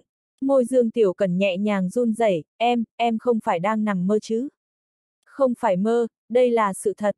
Ninh Tử mặc lúc này cũng vô cùng hưng phấn, nắm tay Dương Tiểu Cần. Thật sự tốt quá, Tô Nguyệt Nhàn cười mở miệng. Một lát sau, Ninh Tử mặc nắm tay Dương Tiểu Cần, nhìn sở trần, thay chúng tôi truyền đạt đến thần tiên tỷ tỷ, ân tình của cô ấy đối với chúng tôi, mãi không quên. Sở trần cười cười, vậy đệ tử thần tiên tỷ tỷ có việc, muốn hai người giúp một chút. Sở thúc muốn chúng tôi giúp gì? Ninh tử mặc hỏi, không liên quan đến cậu. Sở trần nhìn Dương Tiểu Cẩn, bác Trần chuẩn bị ra mắt loại thuốc thứ hai, tôi muốn mời Tiểu Cẩn trở thành người phát ngôn cho loại thuốc này. Ánh mắt Tống Nhan sáng lên, không ai thích hợp hơn Dương Tiểu Cẩn để phát trở thành người ngôn loại thuốc bôi ngoài da này. Không vấn đề gì, Dương Tiểu Cẩn không chút do dự gật đầu, trần chờ một chút, nhìn không được hỏi một câu tôi có thích hợp không? Cô không phải là một nhân vật công chúng, không có danh tiếng. Cô là người đầu tiên sử dụng thuốc bôi ngoài da này, đương nhiên thích hợp. Sở Trần mỉm cười nói, đây là quân tỷ tỷ để lại, bản làm bớt đi của thuốc làm đẹp chữa vết thương. Tinh thần Dương Tiểu Cẩn chấn động, có thể chỉ trong 10 ngày ngắn ngủi đã chữa khỏi trên mặt cô, còn không để lại chút sẹo, cho dù là bản bớt đi, nhất định cũng rất nghịch thiên. Khí tức trên người triệu phong vũ đột nhiên lạnh như băng mấy phần, sát ý dâng trào. Sở trần cũng cười, chiến ý trong mắt dần dần bốc lên. Anh chỉ là muốn kéo dài thời gian mà thôi, đối mặt với triệu phong vũ, cũng không phải không có lực đánh một trận. Khoảng cách thời gian cùng nhị thúc hẹn, chỉ có không đến 10 phút. Cho dù địch không lại, chống đỡ 10 phút, sở trần tự tin tuyệt đối không có vấn đề gì. Ta ngược lại muốn thật sự lĩnh giáo một chút thực lực hộ pháp của phái thiên cơ. Sở trần không tránh nữa, ngược lại xông lên. Triệu phong vũ ánh mắt miệt thị, không biết tự lượng sức mình. Vừa dứt lời, quyền lực của triệu phong vũ đã tụ tập, lực phá thế ngàn cân treo sợi tóc, nhưng thân thể sở trần trong nháy mắt lại giống như linh xà lắc một cái, giống như theo cánh tay triệu phong vũ vừa chuyển, trong tốc độ ánh sáng, đã xuất hiện ở phía sau triệu phong vũ. Cửu huyền bí thuật, kim xà triền ti, kim xà triền ti, triệu phong vũ hiển nhiên cũng hiểu rõ tuyệt học của cửu huyền môn, đồng tử khẽ chấn động, theo bản năng xoay người vung quyền, nhưng thân ảnh sở trần đảo mắt lại biến mất. Thân ảnh triệu phong vũ vừa lui, đồng thời bộc phát ra sức lực càng thêm cường đại.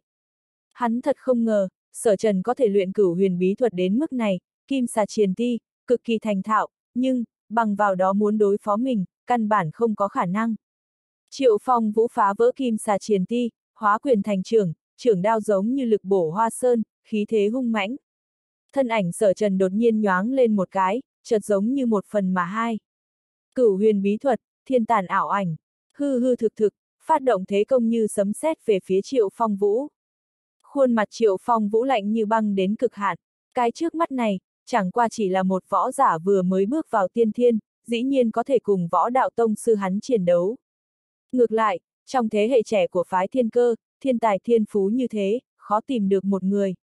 Như vậy, anh càng phải chết, nếu không, phái thiên cơ muốn vượt qua cửu huyền môn như mặt trời ban ngày, càng thêm khó khăn. Triệu Phong Vũ bỗng nhiên lấy ra thiên cơ bàn, ở giữa đáy thiên cơ bàn có một cái khóa sắt, Triệu Phong Vũ tay cầm miệng sắt, ấn một cái nút trong đó. Phái thiên cơ, cơ quan thuật, trong nháy mắt, từng mũi tên sắc bén giống như mưa to bắn ra, tập trung vào chỗ yếu hại trên người sở trần.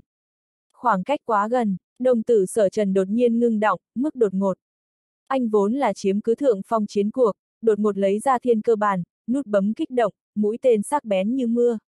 Lúc này khoảng cách giữa sở trần và triệu phong vũ không tới 3 mét. Mũi tên sắc bén không ngừng phóng đại trong con ngươi sở trần, trong nháy mắt này, cả thế giới phảng phất đều đứng yên. Vù, vù, vù, mũi tên nhìn như trực tiếp xuyên thấu thân thể sở trần, nhưng ý cười trên khuôn mặt triệu phong vũ lại dần dần ngưng động, không thể tin nhìn về phía trước. Mưa tên dày đặc bao trùm, theo lý thuyết căn bản không có nửa điểm tránh né không gian, nhưng sở trần cư nhiên ở giữa tốc độ ánh sáng né tránh, thân ảnh của anh giống như một lá liễu trong giỏ cấp tốc, nhìn như bị cuồng phong thổi loạn, nhưng đồng thời cũng là nhảy múa trong gió, mượn lực gió. ầm, um, mũi tên bắn vào vách tường phía sau sở trần, trực tiếp đào những lỗ hổng dày đặc trên bức tường.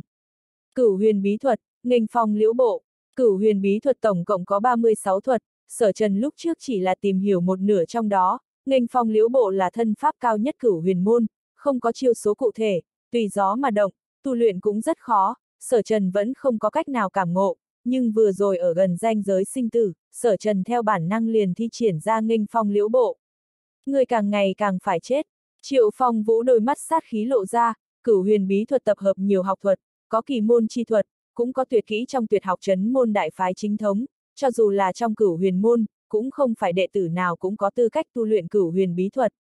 Thân phận của sở trần ở cửu huyền môn bất phàm, còn luyện cửu huyền bí thuật đến mức này, hôm nay không giết, sẽ trở thành vũ khí lớn trong tương lai.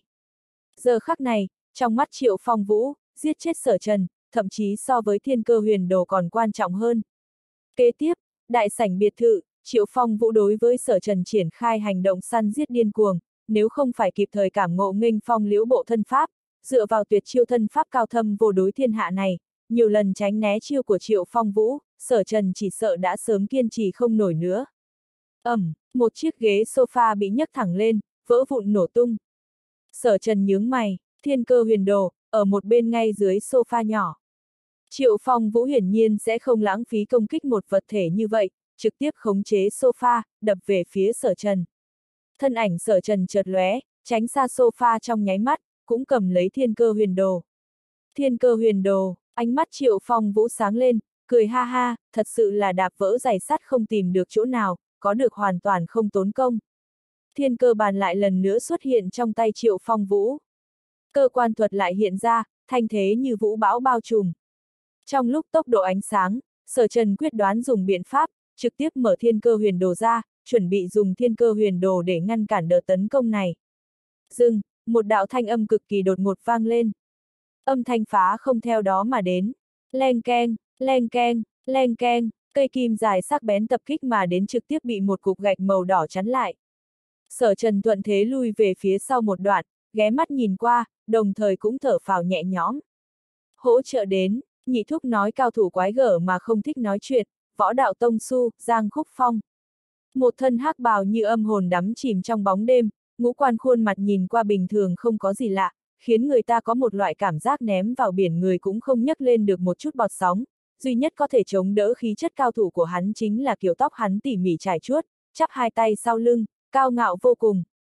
Giang tiền bối, sở trần mừng rỡ đi về phía Giang Khúc Phong, đồng thời nghi hoặc một chút, vừa rồi lúc Giang tiền bối hiện thân, nói một chữ gì đó, heo. Nhị thúc nói không sai, Giang tiền bối quả nhiên tích tự như kim, sở trần đại khái có thể đoán được ý tứ của Giang Khúc Phong. Triệu Phong Vũ Đường Đường là hộ pháp phái thiên cơ, thời gian dài như vậy ngay cả một tiên thiên võ giả như mình cũng không đối phó được, quả thực chính là tồn tại giống heo. Vẻ mặt Triệu Phong Vũ ngưng trọng vài phần, nhìn chằm chằm Giang Khúc Phong, ngươi là ai? Giang Khúc Phong lạnh lùng nhìn Triệu Phong Vũ, một lát sau, há miệng nói thủ. Triệu Phong Vũ, trong đầu sở trần cũng thoáng cái toát ra không ít dấu chấm hỏi. Giang tiền bối ở Điện Thiên Võng có biệt danh là thủ. Sở trần trong lúc bất chợt nghĩ đến khả năng này, dù sao, anh ở Thiên Võng Điện có biệt danh là điếu giả. Giang tiền bối cũng thật sự quá tiếc chữ, từ lúc hiện thân đến bây giờ, cũng chỉ nói hai chữ, một chữ, heo, một chữ ơ thủ, còn người sở trần trong lúc bật chợt mở to vài phần. Dừng, tay, sở trần nhìn Giang Khúc Phong, một lúc lâu sau, khuôn mặt không cách nào kìm lòng hung hăng co giật một chút. Vút, vút, vút, triệu phong vũ đã khởi động thiên cơ bàn lần nữa, trong khoảnh khắc, thế công như thủy triều. Điêu, thanh âm quát xuống, một thân hắc bào như bị cuồng phong quét lên, phù vù mà động, đối mặt với thuật cơ quan trùng kích, Giang Khúc Phong không lùi mà tiến, song trưởng cứng rắn như kim cương, dĩ nhiên dùng lực lượng hai trưởng ngăn cản mũi tên bao trùm mà đến. Sở Trần chú ý hai tay Giang Khúc Phong, cũng không đeo bất kỳ loại hộ cụ nào. Giang Khúc Phong tu luyện công phu hẳn là các loại công phu cứng rắn thiết xa trưởng, hơn nữa đạt tới cảnh giới nhất định. Mạnh như vũ bão, cơ quan thuật của Triệu Phong Vũ không chịu nổi một kích trước mặt Giang Khúc Phong. Nhưng một từ trước khi Giang Khúc Phong công kích, khiến Triệu Phong Vũ cảm thấy bị vũ nhục. Đây rõ ràng là đang cố ý chế nhạo trào phúng cơ quan thuật của hắn. Khuôn mặt Triệu Phong Vũ lạnh lẽo, đột nhiên nhảy lên, thân hình khôi ngô bộc phát ra vài phần hung tính, hai tay thành chảo, kèm theo một tiếng giống to. Tam đại tuyệt học phái thiên cơ, thuật cách không, cơ quan thuật cùng với thần hổ quyền, lấy hổ làm hình, tung người nhảy lên, như mãnh hổ xuống núi, khí thế bất phàm. Trùng, Giang Khúc Phong nói, Triệu Phong vũ toàn lực bộc phát, đôi mắt khó nén lửa giận. Thần hổ quyền, từng có cường giả phái thiên cơ tu luyện tới cực hạn, luyện ra thế hổ, gần như vô địch với giới võ giả, cuối cùng vẻn vẹn chỉ một chiêu tích bại cường giả cửu huyền môn, tuyệt học như vậy, giới võ giả người nghe thấy biến sắc, người trước mắt này lại gọi nó là trùng. Đây không thể nghi ngờ là nhục nhã cực lớn đối với thần hổ quyền. Có thể nhẫn nại nhưng không thể nhẫn nhục, phải biết rằng, tại thời khắc triệu phong vũ thi triển thần hổ quyền, liền quyết định muốn lật lá bài tẩy của mình ra. Không biết, còn gặp phải khinh thị, thần hổ quyền cương mãnh vô cùng, như liệt hỏa thiêu đốt, quyền lực đại khai đại hợp vừa vặn giống công phu cứng rắn của Giang Khúc Phong, Giang Khúc Phong cũng thích đối thủ như vậy nhất, đôi mắt phát sáng, thiết trưởng đánh ra, trong lòng hô to thỏa mãn. Dầm dầm dầm, chiến đấu giữa hai cường giả cấp bậc võ đạo tông sư. Sở Trần đứng một bên, nội tâm lại có loại cảm giác phảng phất bị vô số ngón tay cào, nghẹn đến có chút khó chịu. Giang tiền bối còn lại hai chữ đến tột cùng khi nào mới có thể nói ra. Từ lúc Giang Khúc không nói chữ đầu tiên, sở trần liền đoán được hắn muốn nói cái gì. Nhưng mà, theo chiến đấu giữa hai người càng lúc càng kịch liệt, hai bên tựa hồ đều mình đồng ra sắt, không cách nào công phá phòng ngự của đối phương. Bụp, bụp, cả hai tay chạm vào nhau dưới đáy quần cùng một lúc. Hai bên đều nghĩ đến, công kích điểm yếu ớt nhất của đối phương, càng dễ dàng đánh bại đối phương. Ánh mắt Giang Khúc Phong cũng hiện lên một tia tiếc nuối, nhỏ. Triệu Phong Vũ, điều này cũng quá xúc phạm.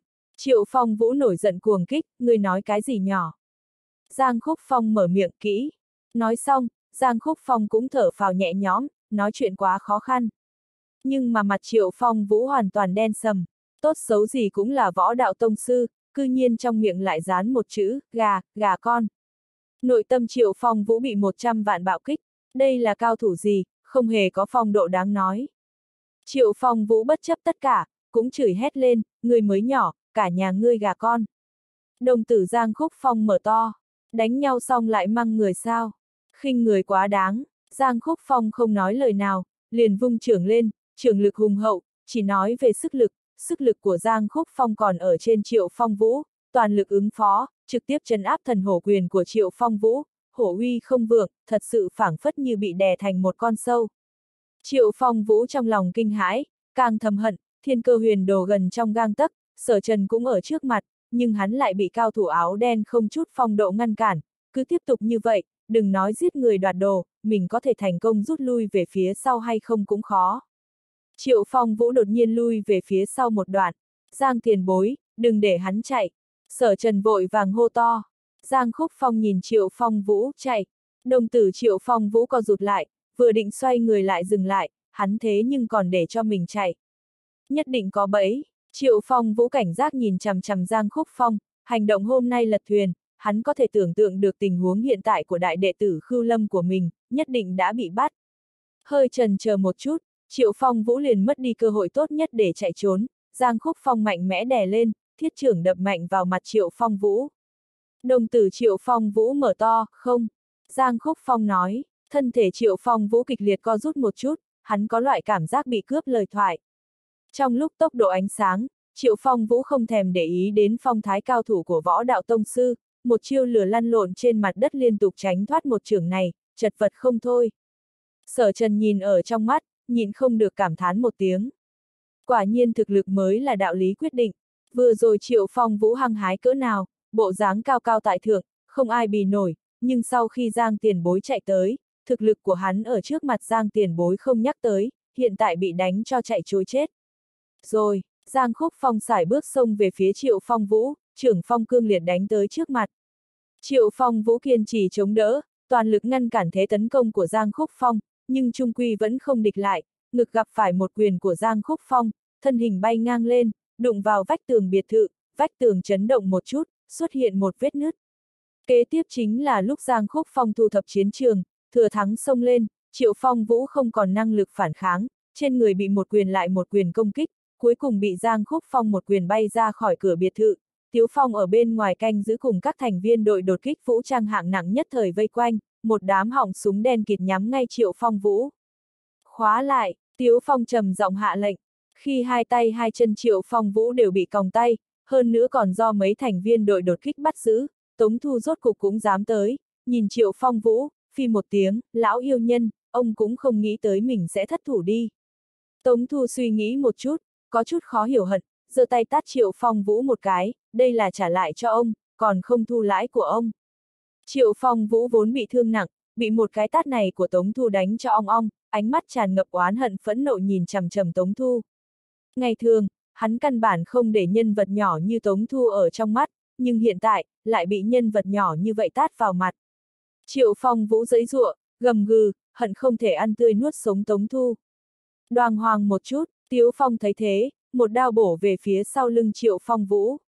Sở Trần đi ra cửa biệt thự, liếc mắt nhìn Triệu Phong Vũ, lập tức nói trước tiên mang hắn xuống. Tống Thu điên cuồng đi tới trước mặt Sở Trần, anh rể, anh còn nói đánh không lại hắn, cái này cũng quá khiêm tốn đi.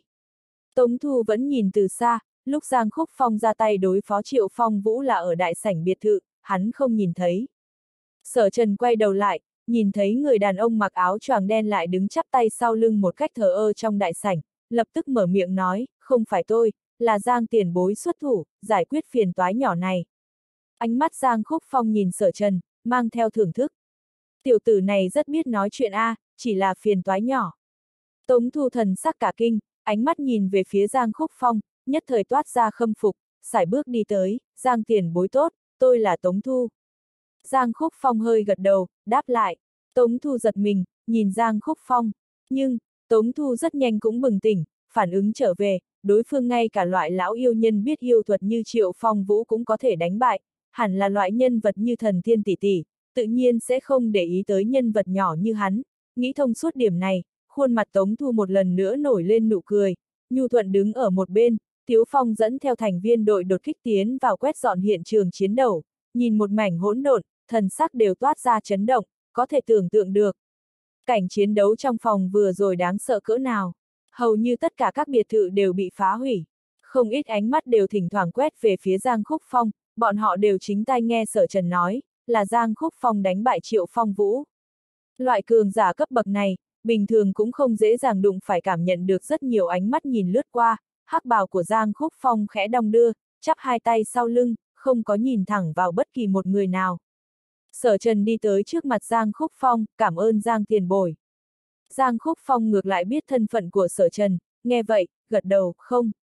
Sở Trần yên lặng đứng bên cạnh Giang Khúc Phong, vài phút sau, Giang Khúc Phong mở miệng cần. Giang Khúc Phong không nói gì nữa, Sở Trần cũng rất thức thời không mở miệng nữa. Mấy người đổi đến ở một biệt thự khác, vừa mới đi vào đại sảnh, bên Tiếu Phong đã có tin tức mới truyền đến. Sau khi chúng tôi hộ tống ba vị đại sư rời khỏi tiểu khu, bị một chiếc xe theo dõi, đội đột kích xuất động bắt được đối phương, trải qua thẩm vấn, bọn họ là đệ tử của Triệu Phong Vũ, phụ trách ở bên ngoài tiếp ứng Triệu Phong Vũ. Tiếu Phong nhìn sở trần, chờ đợi câu trả lời của sở trần. Khuôn mặt sở trần hiện lên ý cười, đây là một tin tức tốt. Ít nhất, đệ tử phái thiên cơ Triệu Phong Vũ này, bị một lưới bắt hết. Bởi vì thiên cơ huyền đồ gây ra vụ án diệt môn kinh thành là đoàn thể gây án, hung thủ cũng không chỉ có một hai người, những người này đều có hiểm nghi, anh chuyển lời đến người phụ trách vụ án này thẩm vấn thật kỹ. Sở Trần nói, còn có, hiện tại có thể đưa ba vị đại sư trở về. Sở Trần pha trà, Giang tiền bối, uống trà. Sở Trần theo bản năng nhìn thoáng qua hai tay Giang Khúc Phong, trong đầu hồi tưởng lại trận chiến vừa rồi giữa Giang Khúc Phong và Triệu Phong Vũ, đôi tay sắt này gần như vô địch, thực lực công phu cứng rắn, bước thẳng võ đạo tông sư đỉnh phong. Tiểu Thu, hôm nay cậu cũng biết được thủ đoạn của một số cường giả, cậu cần phải tự xem xét lại mình. Sở Trần quả thật có không ít lời muốn cùng Giang Khúc Phong trao đổi, nhưng làm sao Giang tiền bối nói chuyện không tiện, Sở Trần chỉ có thể liếc về phía Tống Thu. Thuật cách không của Triệu Phong Vũ chỉ có thể khống chế một mình Tống Thu, phỏng chừng ngay cả chính hắn cũng cảm thấy bất ngờ. Hắn tự nhiên không biết, phạm vi gần này, bao gồm cả mỗi một bảo vệ, đều là tinh nhuệ trong quân. Mỗi người đều có ý chí sắt thép. Tống Thu xấu hổ, cậu muốn đến quân doanh rèn luyện không? Sở Trần đột nhiên nảy ra một ý nghĩ. Tống Thu chỉ mới 17 tuổi, qua một thời gian ngắn nữa chính là sinh nhật 18 tuổi, bởi vì si mê công phu, hắn đã bỏ bê việc học, nếu như tiến vào quân doanh tôi luyện vài năm, đối với Tống Thu mà nói, ngược lại là một con đường thích hợp cho hắn đi. Bắt đầu với tư cách là tân binh, trong tương lai phấn đấu để tham gia vào bộ phận hoạt động đặc biệt. Thanh âm sở trần mang theo lực hấp dẫn, Tống Thu tim đập thình thịnh, tuổi này của hắn, chính là lúc nhiệt huyết phương cương. Trùng hợp thay, việc tuyển dụng năm nay đã bắt đầu. Tiếu Phong ở một bên nói, tôi quyết định đăng ký, ngữ khí Tống Thu kiên định, trong lúc bất chợt có loại cảm giác nội tâm vững vàng, hắn đối với tương lai của mình vẫn có loại cảm giác mê mang, hắn si mê công phu quyền cước, nhưng trong mắt trưởng bối Tống ra, điều này ít nhiều có chút không làm việc đàng hoàng, trong mắt rất nhiều người, vị thiếu gia tống gia này cũng là không học vấn không nghề nghiệp. Nếu mình đến quân doanh, cuối cùng ở lại trong quân đội, hơn nữa đạt được thành tích nhất định, vậy nhất định làm dạng dỡ tổ tiền. Khuôn mặt lãnh khốc của Giang Khúc Phong cũng đều lau đi một tia mỉm cười, được. Được tiền bối tán thành, Tống nội tâm thu càng thêm kiên định, theo Giang Khúc Phong mở miệng, Tống thu vội hỏi, Giang tiền bối đến Dương Thành là phải chấp hành nhiệm vụ gì sao? Tống Thu đối với một số nhiệm vụ đặc thù của tổ hành động đặc biệt ở Trung Quốc vô cùng tò mò và khao khát. Nụ cười trên khuôn mặt Giang Khúc Phong ngưng động biến mất, nhìn Tống Thu. Người muốn ta nói gì? Tống Thu nhìn vẻ mặt Giang Khúc Phong, sửng sốt một chút, lập tức vỗ mạnh đầu mình một cái, thật ngại quá, tôi quên mất, những thứ này hẳn là hành động cơ mật, tôi không thể tùy tiện hỏi. Tuy nói như vậy, ánh mắt Tống Thu vẫn tràn ngập tò mò. Bầu không khí trong đại sảnh có chút quỷ dị. Lực chú ý của mọi người đại đa số đều tập trung ở trên người Giang Khúc Phong, nhưng Giang Khúc Phong lại không nói một câu nào. Sau khi ba người Hoàng Phủ Nguyên Cảnh trở về, sở trần lấy thiên cơ huyền đồ ra, một lần nữa bày ở trên giá vẽ. Đúng rồi, thiếu ca. Sở trần trầm giọng mở miệng, lúc thẩm vấn mấy đệ tử thiên cơ phái kia, thử hỏi một chút chuyện về thiên cơ huyền đồ, có lẽ có thể cung cấp cho chúng ta một vài trợ giúp trong công tác sửa thiên cơ huyền đồ. Tiếu Phong gật đầu, nhớ kỹ lời sở trần nói. Thần sắc Giang Khúc Phong rõ ràng toát ra một trận kinh ngạc, nhìn sở trần một cái. Hắn đúng là phải chấp hành một nhiệm vụ, đi ngang qua Dương Thành, sau khi nhận được tin tức của sở Khai Bình, chạy tới nơi này, Giang Khúc Phong cũng không biết sở trần cũng phụ trách sửa thiên cơ huyền đồ.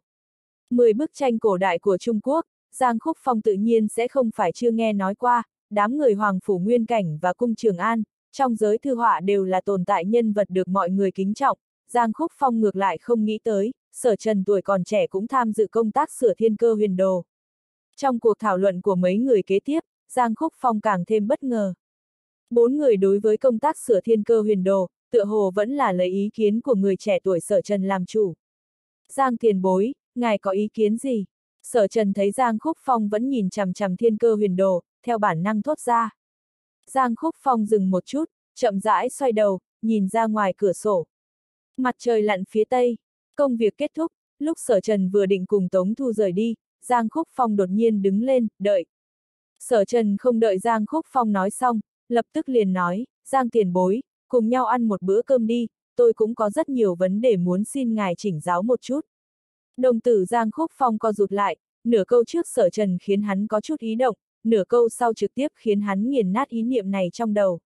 Sau khi lắc đầu, Giang Khúc Phong suy nghĩ một chút, lấy điện thoại ra, ý bảo sở trần quét mã kết bạn. Tống Thu ở một bên nhìn hâm mộ không thôi, có thể khiến vị tiền bối tính cách cao ngạo này chủ động thêm bạn tốt, tự nhiên là rất khó có được. Nói rõ sự khẳng định của vị tiền bối này đối với anh rể. Tống Thu tuy rằng cũng muốn quét mã, nhưng cuối cùng vẫn là lý trí chiến thắng kích động, ánh mắt nhỏ ai oán nhìn hai người quét mã thêm bạn tốt.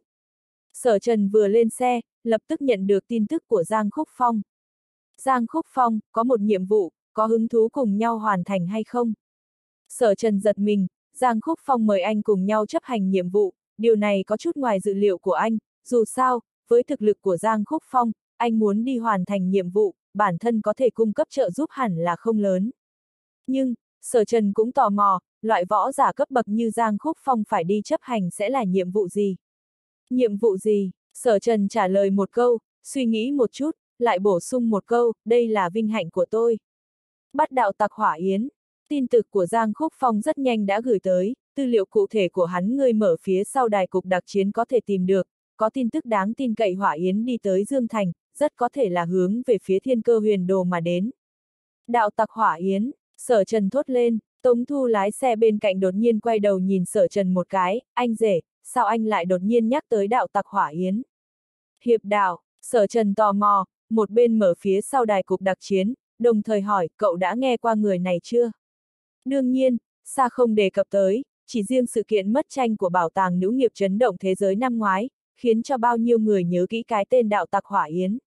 Tống Thu vừa mở miệng, đồng thời kích động, Trấn Thanh nói, lúc ấy bảo tàng mễ quốc nữ nghiệp tổ chức triển lãm tranh, trong đó có một bức tranh nổi tiếng chấn quán, lại là đến từ Trung Quốc tụ bảo bồn, nghe nói tụ bảo bồn cũng được xưng là một trong 10 bức tranh cổ đại của Trung Quốc, nhưng tại triển lãm bảo tàng nữ nghiệp, bị người ngoài chiếm làm của riêng. Năm ngoái, tin tức triển lãm tranh của bảo tàng nữ nghiệp vừa xuất hiện, đã náo động cả nước, có không ít thương nhân ở Trung Quốc đều nhao nhao ra giá, muốn mua bức tranh tụ bảo bồn mất tích nhiều năm này về, nhưng đều bị đối phương cự tuyệt. Ánh mắt Tống Thu toát ra một trận nóng rực, nhưng ngay đêm trước ngày cuối cùng triển lãm tranh, tụ bảo bồn không cánh mà bay, hiện trường bị trộm còn lưu lại tám chữ, vật về nguyên chủ, hỏa yến Trung Quốc từ đó, danh tiếng của hỏa yến Trung Quốc nổi lên, một vài sự tích trước kia của hắn cũng bị đào bới ra, thì ra, hỏa yến là một tên trộm tranh quốc tế, mấy năm qua trên thế giới đều phạm phải đại án, trộm đều là danh họa, người có tâm phân tích qua, hỏa yến trộm họa, trong đó không ít là danh họa Trung Quốc bị mất ở nước ngoài. Dần dần, dân gian liền có người hô lên danh hiệu hiệp đạo hỏa yến. Tống Thu tò mò, anh rể, sao anh đột nhiên nhắc tới hiệp đạo hỏa yến? Không phải là, khuôn mặt Tống Thu biến ảo một chút, hắn nghĩ tới một tầng thân phận khác của sở trần. Đừng hỏi, tập trung lái xe. Sở trần trả lời, khóe miệng Tống Thu giật giật, hắn quên rằng hắn chỉ là một công cụ. Sau khi giới thiệu hỏa yến xong, hắn lại nên chuyên tâm lái xe. Sở Trần đang ỏ, phía sau đài cục đặc chiến xem xét tư liệu của Hỏa Yến, đại khái quả thật giống như Tống Thu nói, nhưng, tư liệu thu thập ở phía sau đài cục đặc chiến hiển nhiên càng thêm chi tiết, ghi chép lại mấy đại án do Hỏa Yến phạm phải. Hỏa Yến hiển nhiên cũng là một người kiêu ngạo, mỗi một lần hắn gây án đều để lại dấu ấn độc đáo của mình, một con én hình ngọn lửa. Thoạt nhìn, ngược lại có vài phần phong thái hiệp đạo cổ đại.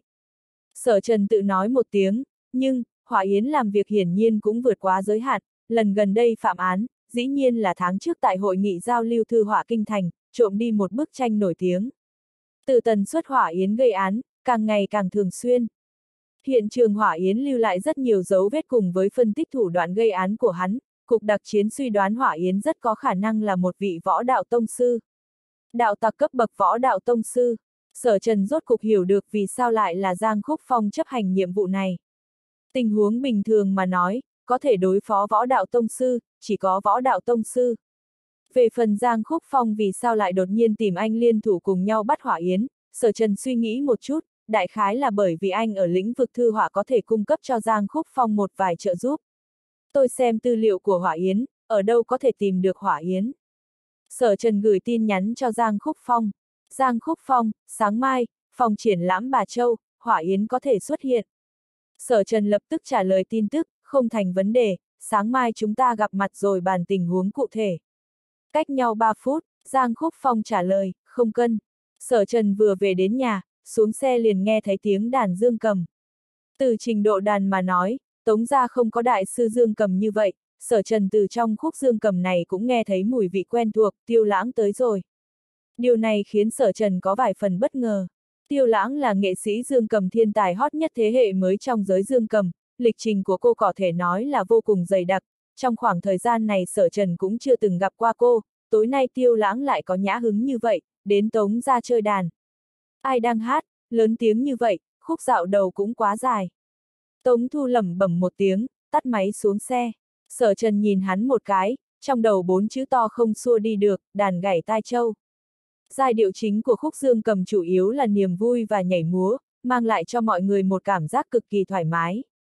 Sở Trần cùng Tống Thu sóng vai đi vào đại sảnh, một bên đại sảnh, trước đàn dương cầm, một đôi ngọc thủ của tiêu lãng tựa như tinh linh nhảy múa nhảy lên đàn dương cầm, mười ngón tay gõ ra một bài dương cầm này, khiến người ta nghe như si như say.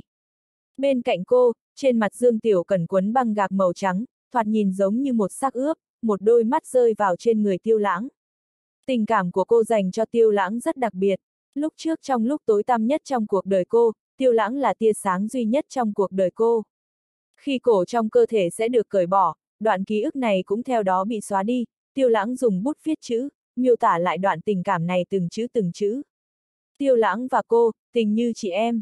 Tiêu lãng ngày thường tuy rằng rất bận rộn, nhưng hai người vẫn duy trì liên lạc thường xuyên, Nam Cung Quân đối với quá trình trị thương mặt Dương Tiểu Cẩn, Tiêu lãng cũng đều biết, đêm nay là ngày Dương Tiểu Cẩn sắp cởi băng gạc trên mặt, Tiêu lãng cũng từ chối tất cả công việc, đặc biệt chạy tới. Trên sofa bên cạnh còn có hai người, hai chị em xinh đẹp mặc cùng một chiếc váy, Liễu Mạn Mạn và Liễu Thiên Thiên.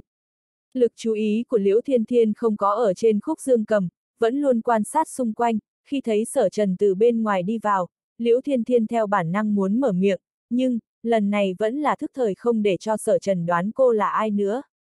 Cô không muốn bị tên này sỉ nhục một lần nữa. Nghĩ đến đây, liễu thiên thiên theo bản năng hừ hừ một tiếng. Liễu mạn mạn nhận ra sự khác thường của cô, ghé mắt nhìn lại, khóe miệng không tự chủ được liền nổi lên nụ cười, sở trần trở về rồi. Sở trần không quấy giày tiêu lãng đàn dương cầm, đi tới sofa đối diện chị em liễu ra ngồi xuống. Một khúc tấu xong, Dương Tiểu Cần mở miệng, đàn dương cầm của chị lãng càng ngày càng hay. Tiêu lãng thản nhiên cười, đứng lên, ánh mắt cũng lập tức nhìn về phía sở trần, sở trần đàn dương cầm cũng không kém tôi. Vừa dứt lời, thần sắc của mấy người ở đây đều rõ ràng toát ra kinh ngạc. Sở trần còn biết chơi đàn dương cầm, Tô Nguyệt Nhàn vui vẻ mở miệng, con rể tốt này, bà càng ngày càng thích. Tiêu lãng cũng quá khiêm tốn rồi. Liễu Thiên Thiên liếc mắt nhìn sở trần một cái, cô không tin. Con người liễu mạn mạn rơi trên người sở trần, đây thật đúng là một nam hài bảo tàng, không đúng, là nam nhân bảo tàng. Sở thúc, ta nghe nói hôm nay xảy ra một chút chuyện.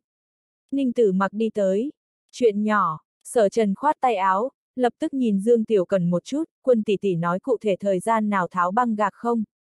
Còn 2 tiếng 10 phút nữa, Ninh Tử mặc thốt ra, hắn vẫn luôn âm thầm đếm thời gian, chờ đợi kỳ tích xuất hiện. Phải biết rằng, trước khi Nam Cung quân xuất hiện, Ninh Tử mặc dẫn theo Dương Tiểu Cần đi khắp danh y, các chuyên gia bệnh viện lớn đều bó tay với vết thương trên mặt cô. Tâm tình Dương Tiểu Cần cũng rất căng thẳng, hai tay vẫn âm thầm nắm chặt góc áo mình. Cô không cầu có thể khôi phục như lúc ban đầu, chỉ hy vọng sau này có thể để cho mình đi ra ngoài, sẽ không bị ánh mắt khác thường. Nói như vậy, Ninh Tử mặc cũng sẽ bớt gánh chịu một chút áp lực. Tiểu Cần, bây giờ em cảm thấy thế nào?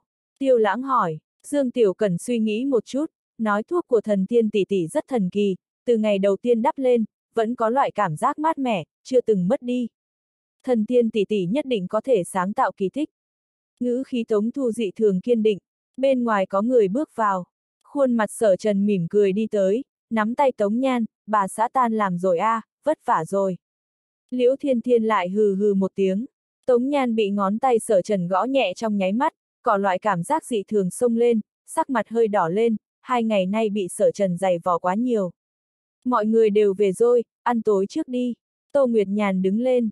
Sau một bữa cơm, còn một tiếng rưỡi nữa là vén tấm khăn che cho Dương Tiểu Cẩn. Sở Trần và Liễu Mạn Mạn đi tới thư phòng, anh không quên đây là thời gian truyền thụ kỹ năng song tiên nhập thần cho của Liễu Mạn Mạn. Thư phòng đêm nay đặc biệt yên tĩnh, ngay cả Liễu Thiên Thiển cũng ở bên ngoài góp vui. Liễu Mạn Mạn hai tay đều cầm bút, một bên nghe Sở Trần dạy, một bên thử đặt bút.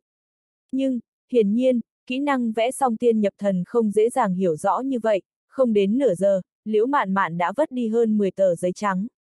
Yêu cầu cơ bản của sở trần đối với Liễu Mạn Mạn không chỉ là tay trái vẽ hình tròn tay phải vẽ hình vuông.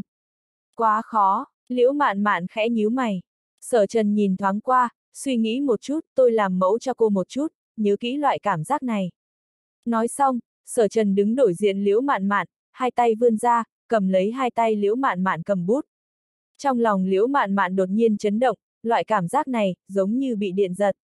Kế tiếp, sở trần nắm hai tay liễu mạn mạn, đồng thời đặt bút, bút rơi giống như nước chảy mây trôi, rất nhanh liền vẽ ra một bức họa. Sở trần buông tay, ngẩng đầu nhìn liễu mạn mạn, nhớ kỹ loại cảm giác này chưa? Ca, liễu mạn mạn cũng nâng con ngươi lên, tim đập nhanh, cô cũng không thể nói cho sở trần biết, vừa rồi tâm tư hoàn toàn không vẽ lên. Nhớ rồi, liễu mạn mạn trả lời. Được rồi, tiếp tục luyện tập. Sở trần nhìn thoáng qua thời gian, còn chưa tới nửa giờ, chính là thời gian Dương Tiểu Cần mở băng gạc trên mặt ra. Liễu mạn mạn luyện thêm mười mấy phút, sở trần ý bảo cô dừng lại, nghỉ ngơi một chút. Liễu mạn mạn cũng đã sớm hiểu rõ tình hình của Dương Tiểu Cần, lúc cùng sở trần đi tới đại sảnh, nhịn không được hỏi một tiếng, mặt cô ấy bị cổ của phái vu thần làm bị thương vài năm, thật sự còn có thể trị được sao? Chắc chắn sẽ chữa khỏi. Sở trần không chút do dự trả lời. Quân tỷ tỷ không chút do dự rời đi, cũng đã nói rõ cô đối với trị liệu vết thương trên mặt Dương Tiểu Cẩn có 10 phần tin tưởng. Có lẽ đối với người khác mà nói là kỳ tích, nhưng đối với quân tỷ tỷ mà nói, là thao tác thông thường. Đi vào đại sảnh, Dương Tiểu Cẩn ngồi trên một cái ghế, Ninh Tử mặc nắm tay cô. Tiêu lãng nhìn thoáng qua thời gian, Liễu Thiên Thiên đi tới, vẻ mặt khó nén căng thẳng nắm lấy cánh tay Liễu Mạn Mạn. Cô căng thẳng cái gì? Sở Trần nhìn cô một cái. Liễu Thiên Thiên hừ một tiếng, tôi quan tâm cô ấy không được sao. Sở Trần bất ngờ, không thể tưởng tượng được một cô gái mỗi ngày đều tiếp xúc với độc như cô, tâm địa còn rất tốt. Liễu Thiên Thiên, cô cảm giác tình hoa độc của mình đã không kiềm chế được nữa. Còn 10 phút nữa, vợ chồng Tô Nguyệt Nhàn cũng một mực nhìn chăm chú, con người khó nén lo lắng, thấp thỏm không thôi, hy vọng đứa nhỏ này bị thương có thể tốt hơn một chút, mấy năm nay mạng của nó quá khổ rồi. Tô Nguyệt Nhàn khẽ thở dài, ánh mắt mọi người đều tập trung ở trên người Dương Tiểu Cần. Tất cả hy vọng rằng tiếp theo là thời gian để chứng kiến phép lạ. Lúc này, bên ngoài đại sảnh lại truyền đến một trận thanh âm hỗn loạn, lại có tiếng bước chân, cũng có tiếng quát lớn, một đám mười mấy người vọt vào đại sảnh. Tôi vào tìm con gái tôi, các người dựa vào cái gì ngăn cản tôi. Một người phụ nữ lông mày dựng thẳng lên, tức giận đùng đùng, còn dẫn theo mấy người đàn ông vạm vỡ, thậm chí bên cạnh còn có hai người trẻ tuổi ăn mặc giống phóng viên, trong lúc nhất thời khiến bảo vệ Tống ra trở tay không kịp, để cho bọn họ xông vào. Tống tà Dương nhíu mày đi tới, các người là ai? Dương Tiểu Cần theo bản năng nắm chặt tay Ninh Tử Mặc. Ninh tử mặc thần sắc trầm xuống. Người phụ nữ này tự nhiên đã gặp qua. Mẹ nuôi của Dương Tiểu cần Triệu Bích Liên.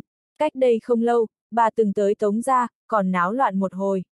Tối nay lại đến, bà ta muôn làm gì? Triệu Bích Liên mặt mày bén nhọn, nhìn chằm chằm Dương Tiểu Cẩn, ông hỏi nó, tôi là ai? Lần trước đã nói rõ ràng với bà, Tiểu Cẩn cùng Dương gia bà, không còn liên quan nữa. Ninh tử mặc lạnh lùng nhìn chằm chằm Triệu Bích Liên, người Dương gia, sở trần hỏi một câu. Ninh tử mặc gật đầu, bà ấy là vợ của Dương Khiêm, Triệu Bích Liên. Sở trần ngẩn ra, lại là họ Triệu, sở trần quyết định, đợi chuyện đêm nay qua đi, anh phải hảo hảo tính toán một quẻ, xem có phải thật sự cùng họ Triệu tương xung hay không. Mà trước mắt, sở trần nhíu mày, người một nhà này rõ ràng có ý đồ không tốt, trễ như vậy xông vào tống ra, còn dẫn theo phóng viên. Nếu như tôi nhớ không lầm, vụ án của Dương Khiêm, sắp tới sẽ mở phiên tòa. Ninh tử mặc lạnh lùng nhìn chằm chằm đám người triệu bích liên, lúc trước chính là Dương Khiêm, khiến Dương Tiểu Cẩn chịu nhiều thống khổ như vậy, Ninh tử mặc rất chờ mong nhìn thấy Dương Khiêm nhận được báo ứng xứng đáng. Tiểu Cẩn, con thật sự mặc kệ cha con sao? Thanh âm triệu bích liên mềm mại lên, mang theo vài phần nghẹn ngào, hốc mắt đỏ lên, ngày mai sẽ mở phiên tòa, nếu như con không giúp cha con, tội danh của ông ấy sẽ rất nặng. Sớm biết hôm nay, sao lúc trước còn như thế? Dương Tiểu Cần thản nhiên đáp lại, lúc trước khi ông ấy quyết định làm ra những chuyện này, nên nghĩ đến sẽ có ngày này. Mọi người đều nghe thấy không? Ngón tay Triệu Bích Liên run rẩy chỉ vào Dương Tiểu Cần, đây chính là con gái Dương Khiêm ngậm đắng nuốt cay nuôi lớn, ơn nuôi dưỡng nhiều năm như vậy, chẳng những không báo, ngược lại bỏ đá xuống giếng, đây chính là hung ác độc địa của Dương gia chúng tôi a. À. Ống kính của hai phóng viên đối diện với Dương Tiểu Cẩn. Các người cút đi, Ninh Tử mặc đứng trước mặt Dương Tiểu Cẩn, ánh mắt sát khí đằng đằng. Tối nay tôi dẫn theo phóng viên cùng tới đây, chính là muốn vạch trần bộ mặt thật của con sói mắt trắng Dương Tiểu Cẩn này. Thanh âm Triệu Bích Liên bén nhọn, chỉ vào Dương Tiểu Cẩn, mọi người có thấy không? Mặt cô ta quấn đầy gạc, chính là bởi vì khuôn mặt này vô cùng xấu xí, năm đó cô ta bị vứt bỏ, chồng tôi Dương Khiêm nhặt cô ta về nhà, vất vả nuôi lớn, các người đều thấy thái độ hiện tại của cô ta sao? Xấu vô cùng, sở trần liếc mắt một cái, bà cầm gương đi ra soi một chút liền biết cái gì gọi là xấu vô cùng. Triệu Bích Liên cười lạnh, Dương Tiểu Cần, cô cỏ bản lĩnh liền tháo gạc trên mặt ra, để mọi người nhìn xem cô xấu bao nhiêu. Quả nhiên là tướng do tâm sinh A. Nếu bà không đi, tôi sẽ gọi cảnh sát. Tống tà Dương quát, tôi đến thăm nữ con gái tôi, cho dù cảnh sát tới, thì có thể làm gì. Triệu Bích Liên căn bản không sợ, thanh âm càng lúc càng bén nhọn, nói chuyện càng ngày càng khó nghe. Ngòi đàn bà tranh chua chửi bóng chửi gió. Sở Trần coi như là thật sự lĩnh giáo qua.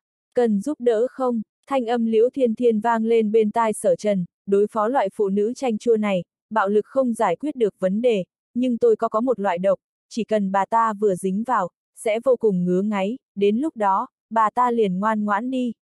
Sở Trần nhìn Liễu Thiên Thiên một cái, rời đi hai bước, phải bảo trì khoảng cách với độc của người phụ nữ này.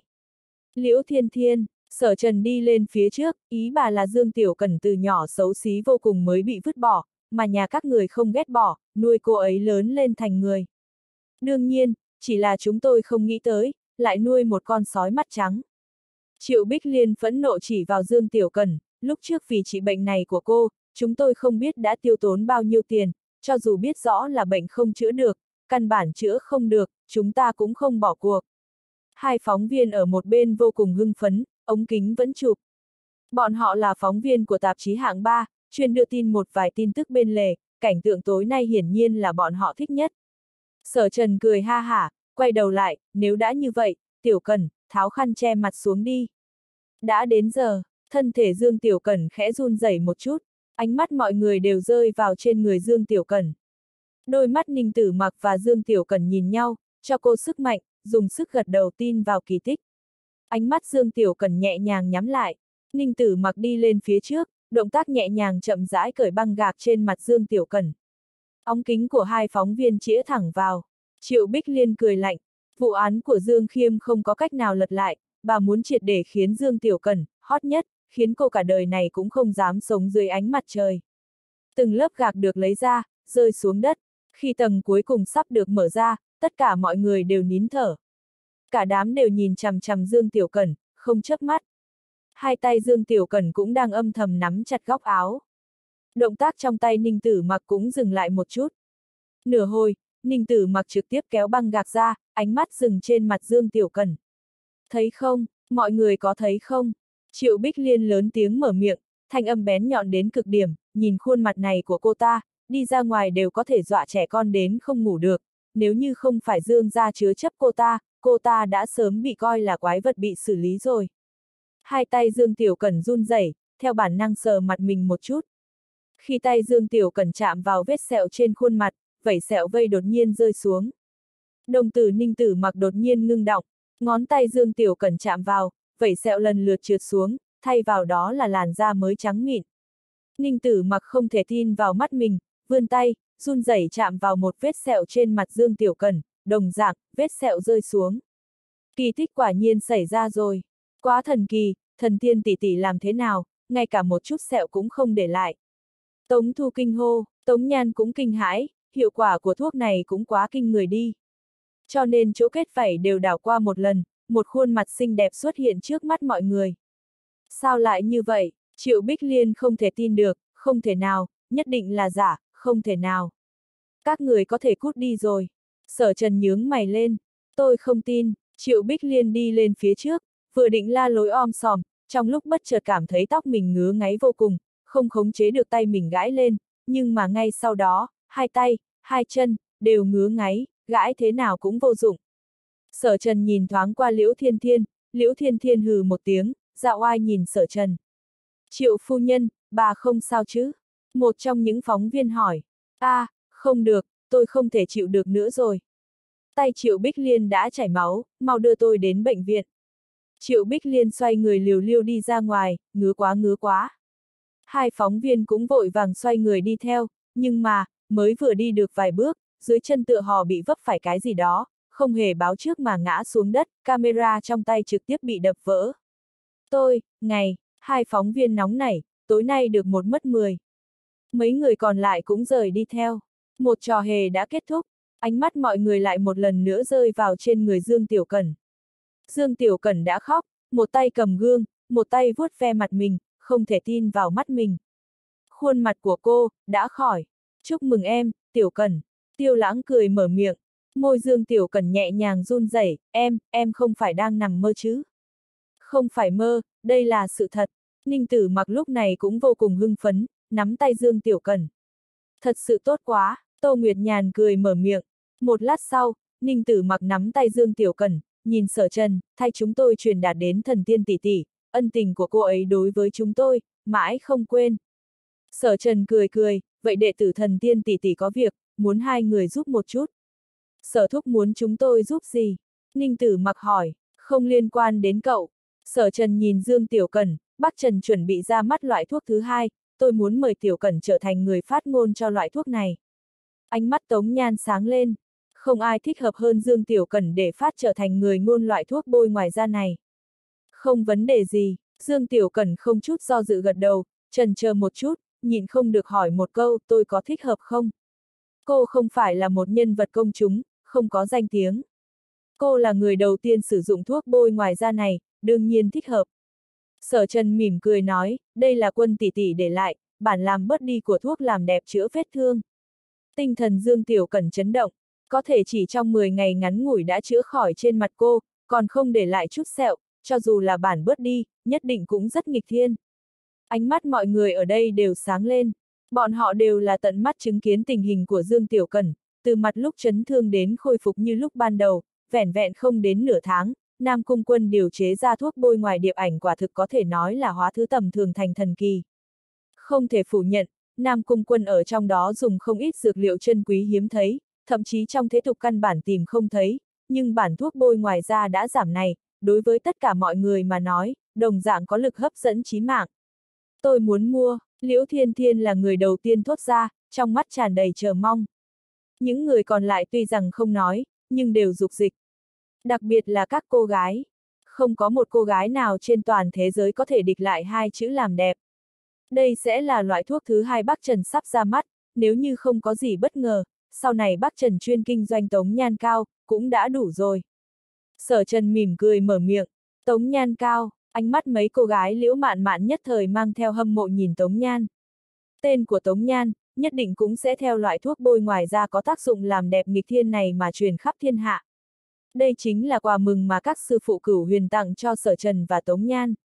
Hiệu quả của Tống Nhan cao không thể nghi ngờ, hơn nữa cơ hội tối nay, có thể còn chưa ra mắt sẽ hot nhất. Liễu mạn mạn đột nhiên mở miệng, cơ hội tối nay, mấy người nghi hoặc nhìn liễu mạn mạn, máy quay của hai phóng viên vừa rồi tuy rằng bị hỏng, nhưng đồ bên trong vẫn còn. Liễu mạn mạn nói, bọn họ nhất định sẽ công khai chuyện tối nay, chẳng qua góc độ tuyên dương không giống nhau, bọn họ sẽ tập trung vào vết thương trên mặt Tiểu Cần. Tiểu Cần từng để lộ khuôn mặt bị thương của mình trước công chúng, hiện giờ khôi phục như lúc ban đầu, một chút vết sẹo cũng không để lại, so sánh rõ ràng như vậy, đủ để cho vô số người điên cuồng với Tống Nhan cao. Đúng vậy, sở trần nhìn Tống Nhan, mấy ngày kế tiếp, bà xã có thể càng thêm vất vả à ý hát rồi. Sở trần vẫn là ý đó, Tống Nhan phụ trách kiếm tiền nuôi gia đình, anh phụ trách xinh đẹp như hoa. Tiểu Cần, có lẽ cũng phải vất vả cho cô a. À. Tống Nhan nhìn Dương Tiểu Cần. Dương Tiểu Cần cười cười, nhiều năm như vậy tôi không làm việc, đang buồn bực phát hoảng, Bắc Trần có thể cho tôi cơ hội này, tôi cầu còn không được. Ninh gia cũng sẽ tuyên truyền Tống Nhan cao trên các kênh riêng của mình. Ninh tử mặc trầm giọng mở miệng, đôi mắt liễu mạn mạn hào quang chớp động, nhìn sở trần, ý tứ rất hiển nhiên. Liễu gia là thế gia đông y Dương Thành, Tống Nhan cao đối với liễu gia mà nói, đồng dạng có hấp dẫn chí mạng. Bánh ngọt Tống Nhan cao ở Dương Thành, cũng không thể để cho Ninh gia độc chiếm nha. Liễu mạn mạn nửa đùa nửa thật nói. Sở Trần cười ha ha, việc này tôi mặc kệ, mọi người muốn bàn chuyện hợp tác gì đó, sáng sớm ngày mai đến cao ốc Kim Bãi. Đúng rồi, có một chuyện quên nói với anh, tòa nhà Kim Bãi sắp đổi tên rồi. Tống Nhan mở miệng, sở trần ngạc nhiên, hoàng gia phạm vào đại sự, nghèo còn gặp cái eo, gặp phải đả kích liên tiếp, đã đến bờ vực phá sản. Tống Nhan nói, cao ốc Kim Bãi đã đổi chủ, hai ngày trước nghe được tin tức là bị Hoa Đằng mua, chiều nay Tổng Giám đốc Hoa Đằng Tô Khải Minh Tiên sinh tới Bắc Trần, chính miệng hắn nói cho em biết, tòa nhà Kim Bãi sắp đổi tên, đổi thành cao ốc Bắc Trần. Tống Nhan nhìn thoáng qua sở trần, đây đều là tiền trong nhà sở trần, giàu có quyền lực đã không đủ để hình dung sở thị rồi. Hoàng gia vừa gặp đại nạn, liền động thủ như sấm sét. Tống Nhan cũng lần nữa cảm nhận được ý nghĩa của câu nói thương trường như chiến trường. Còn nữa, tiền thị cũng gặp phải đả kích không nhỏ, tòa nhà ván phòng hai tầng của tiền thị ở cao ốc Bắc Trần cũng chuyển đi, Bắc Trần chúng ta vừa vặn cần mở rộng, cho nên, hiện tại toàn bộ cao ốc, có ba tầng là của dược phẩm Bắc Trần.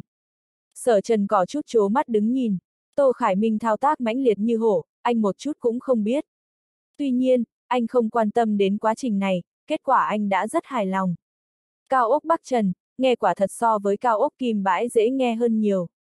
Sở Trần cười ha ha, tất cả mọi người đều giản tán. Sở Trần đưa hai chị em liễu mạn mạn lên xe. Sáng mai, phòng triển lãm Bà Châu có một hoạt động triển lãm về thư họa, hoạt động lần này rất long trọng, sẽ liên tục tổ chức 5 ngày, trong thời gian hoạt động, sẽ có các phòng triển lãm lớn mang bảo vật của mình ra, đối với người yêu thư họa mà nói, là một bữa tiệc thịnh soạn. Liễu mạn mạn nhìn sở trần, anh muốn đi xem không? Sở trần ngẩn ra, anh và Giang Khúc Phong cũng vừa vặn ước định ngày mai đi đến phòng triển lãm Bà Châu. Tôi sẽ đi, sở trần gật đầu, vậy được, sáng mai tôi sẽ đón anh. Giọng nói của Liễu Mạn Mạn mừng rỡ vài phần, xe lập tức rời đi. Sở Trần nhìn đèn sau xe, lập tức sửng sốt. Anh nói muốn đi, nhưng không nói đi cùng Liễu Mạn Mạn. Một lúc lâu sau, Sở Trần cũng chỉ có thể tiếp nhận hiểu lầm xinh đẹp này, cùng hai chị em Liễu Thị, ngược lại so với đi cùng lão hổ lô giang khúc phong buồn bực kia tốt hơn. Sở Trần vừa rồi lúc rảnh rỗi cầm điện thoại nhìn thoáng qua, Giang Khúc Phong gửi cho anh hơn 10 tin nhắn. Lão gia hỏa này chính là người nói nhiều, lại muốn ở trước mặt người ta giả bộ cao lãnh quái gở, che giấu mình nói chuyện không tiện. Sở Trần nhìn thoáng qua tin nhắn cuối cùng của Giang Khúc Phong phát, ta phải tắm rửa ngủ, sáng mai ta đến đón ngươi. Được, trên đường chúng ta cùng hát côn nhị khúc. Sở Trần trả lời một câu. Một lúc lâu sau, tin nhắn của Giang Khúc Phong gửi tới, gặp trước cửa phòng triển lãm. Bóng đêm đã tối, tống ra, phòng khách, ánh đèn mờ nhạt, Ninh Tử mặc nhìn Dương Tiểu Cần không chớp mắt. Sắc mặt Dương Tiểu Cần có chút đỏ bừng, quay đầu sang một bên, còn chưa nhìn đủ sao. Tất nhiên là chưa đủ. Ninh Tử mặc trực tiếp ôm Dương Tiểu Cần lại, đặt lên bàn trang điểm, khuôn mặt áp sát, ngắm cả đời cũng không đủ. Tim Dương Tiểu Cần đập càng mạnh, khuôn mặt ửng hồng, thấy khóe miệng ninh tử mặc nhếch lên nụ cười xấu xa, Dương Tiểu Cần hai tay nâng khuôn mặt anh, thổi một hương thơm, vậy đêm nay liền phạt anh xem cả đêm, không được ngủ. Đây rõ ràng là phần thưởng. Ninh tử mặc cười hắc hắc, Tiểu Cần, em hoàn toàn không biết gì về tiên thiên võ giả A. Một đêm trôi qua, ánh nắng mặt trời xuất hiện, tóc Dương Tiểu Cần có chút rối tung, khuôn mặt còn ửng hồng, nhìn Ninh Tử mặc nằm bên cạnh thở hổn hển, cười duyên, đầu ngón tay phất qua lồng ngực hắn, tiên thiên võ giả. Tiểu Cần, anh sai rồi. Bên hồ Tống, sở trần giống như thường ngày đi tới trước cọc hoa mai, Tống Thu đang luyện quyền. Sở trần trong lúc bất chợt nhớ tới, Hoàng Phủ Hòa Ngọc có mấy ngày không xuất hiện, có thể lại bị phái đi làm việc. Ở Hoàng Phủ ra, có thể sai Hoàng Phủ Hòa Ngọc, đương nhiên là lão gia tử Hoàng Phủ Nguyên Cảnh. Bụp, bụp, bụp, Tống Thu đột nhiên đấm đá một cái cột hoa mai, vô cùng điên cuồng. Sở Trần nghi hoặc đi tới, Tiểu Thu, cậu làm sao vậy? Tống Thu ngừng lại, nới lỏng gân cốt hai tay của mình một chút, lập tức cười nói, không có gì, em cảm thấy huấn luyện trước kia của mình còn chưa đủ tàn nhẫn, dù sao sau này có tống nhan cao, chút vết thương ngoài da này căn bản không tính là cái gì, cho nên bắt đầu từ hôm nay, em phải đối với mình càng tàn nhẫn một chút. Sở Trần, đúng rồi, anh rể, hôm nay em sẽ đăng ký nhập ngũ. Ánh mắt Tống Thu tràn ngập chờ mong, con đường tương lai của hắn, đã đại khái lập kế hoạch xong. Cục đặc chiến, thiên võng điện, chính là mục tiêu cuối cùng của hắn. Tôi đánh giá cao cậu. Sở Trần vỗ vai Tống Thu, trầm ổn có lực. 9 giờ sáng, xe của Liễu Mạn Mạn đi tới cửa Tống ra, Sở Trần nhận được điện thoại trước đã chờ sẵn. a à, tiểu độc nữ sao lại không tới? Trong một đêm, Sở Trần lại khiến Liễu Thiên Thiên có thêm một cái tên.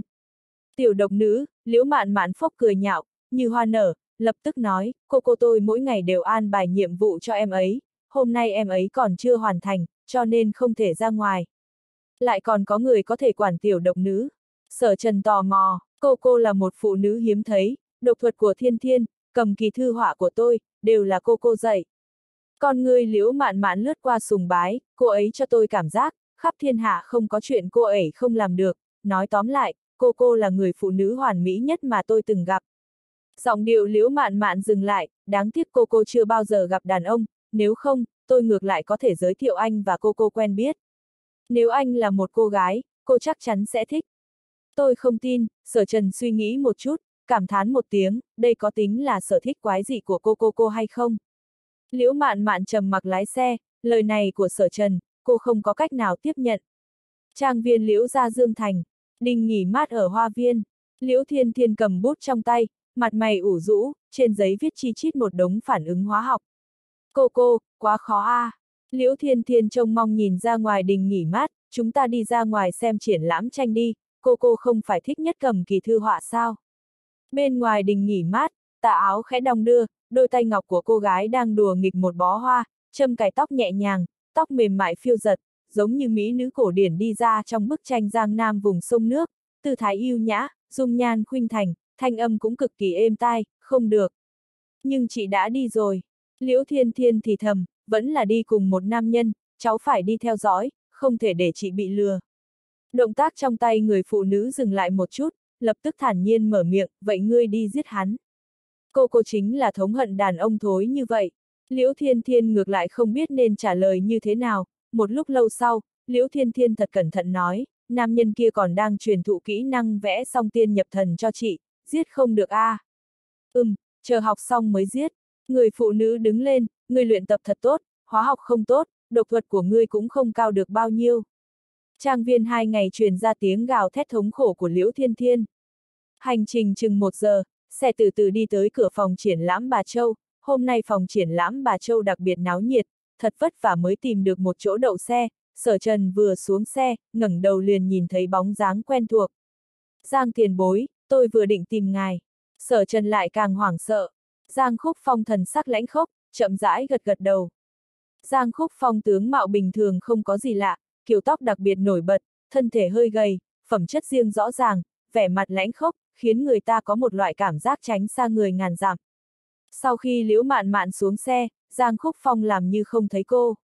Sở Trần vốn còn muốn giới thiệu liễu mạn mạn với Giang Khúc Phong một chút, thấy hứng thú của Giang Khúc Phong tựa hồ không lớn, liền bỏ qua, dù sao, đối với Giang tiền bối mà nói, quen biết thêm một bạn, liền thêm một phần chướng ngại trong trao đổi. Hôm nay thật náo nhiệt, sở trần ngẩng đầu nhìn lướt qua, trước cửa phòng triển lãm bà Châu đang xếp hàng, đều đang kiểm phiếu đi vào. Giang Khúc Phong dẫn đầu đi về phía trước, liễu mạn mạn nhìn thoáng qua bóng lưng Giang Khúc Phong, lập tức hạ thấp thanh âm, bạn này của anh có chút kỳ quái. Sở Trần nở nụ cười, không trả lời câu hỏi này của liễu mạn mạn, vừa đi về phía trước, thuận miệng nói, triển lãm hôm nay có gì đặc biệt không? Đây có lẽ là triển lãm thư họa lớn nhất được tổ chức tại tỉnh Quảng Đông trong năm nay. Liễu mạn mạn hiển nhiên đã bỏ công sức rất nhiều cho triển lãm lần này, không chút do dự mở miệng nói, hơn một ngàn tác phẩm trưng bày, hơn nữa đều là tác phẩm có giá trị, đều là tác phẩm thư họa có giá trị siêu tầm cao, trong đó không thiếu những tác phẩm thư họa có giá trị trăm vạn, thậm chí ngàn vạn, hôm nay được chú ý nhất hẳn là bảo vật chấn quán được bảo tàng Dương Thành cất giữ, tranh ngũ dương, đây là lần đầu tiên tranh ngũ dương xuất hiện với khán giả bình thường, truyền thuyết tranh ngũ dương có lịch sử mấy trăm năm. Tác giả không rõ, nhưng trình độ của bức tranh này rất cao. Khiến không ít bậc thầy tranh đương đại đều tự ti. Sở Trần chú ý Giang Khúc Phong, khi Liễu Mạn Mạn nhắc tới tranh ngũ dương, thân hình Giang Khúc Phong hơi dừng lại một chút.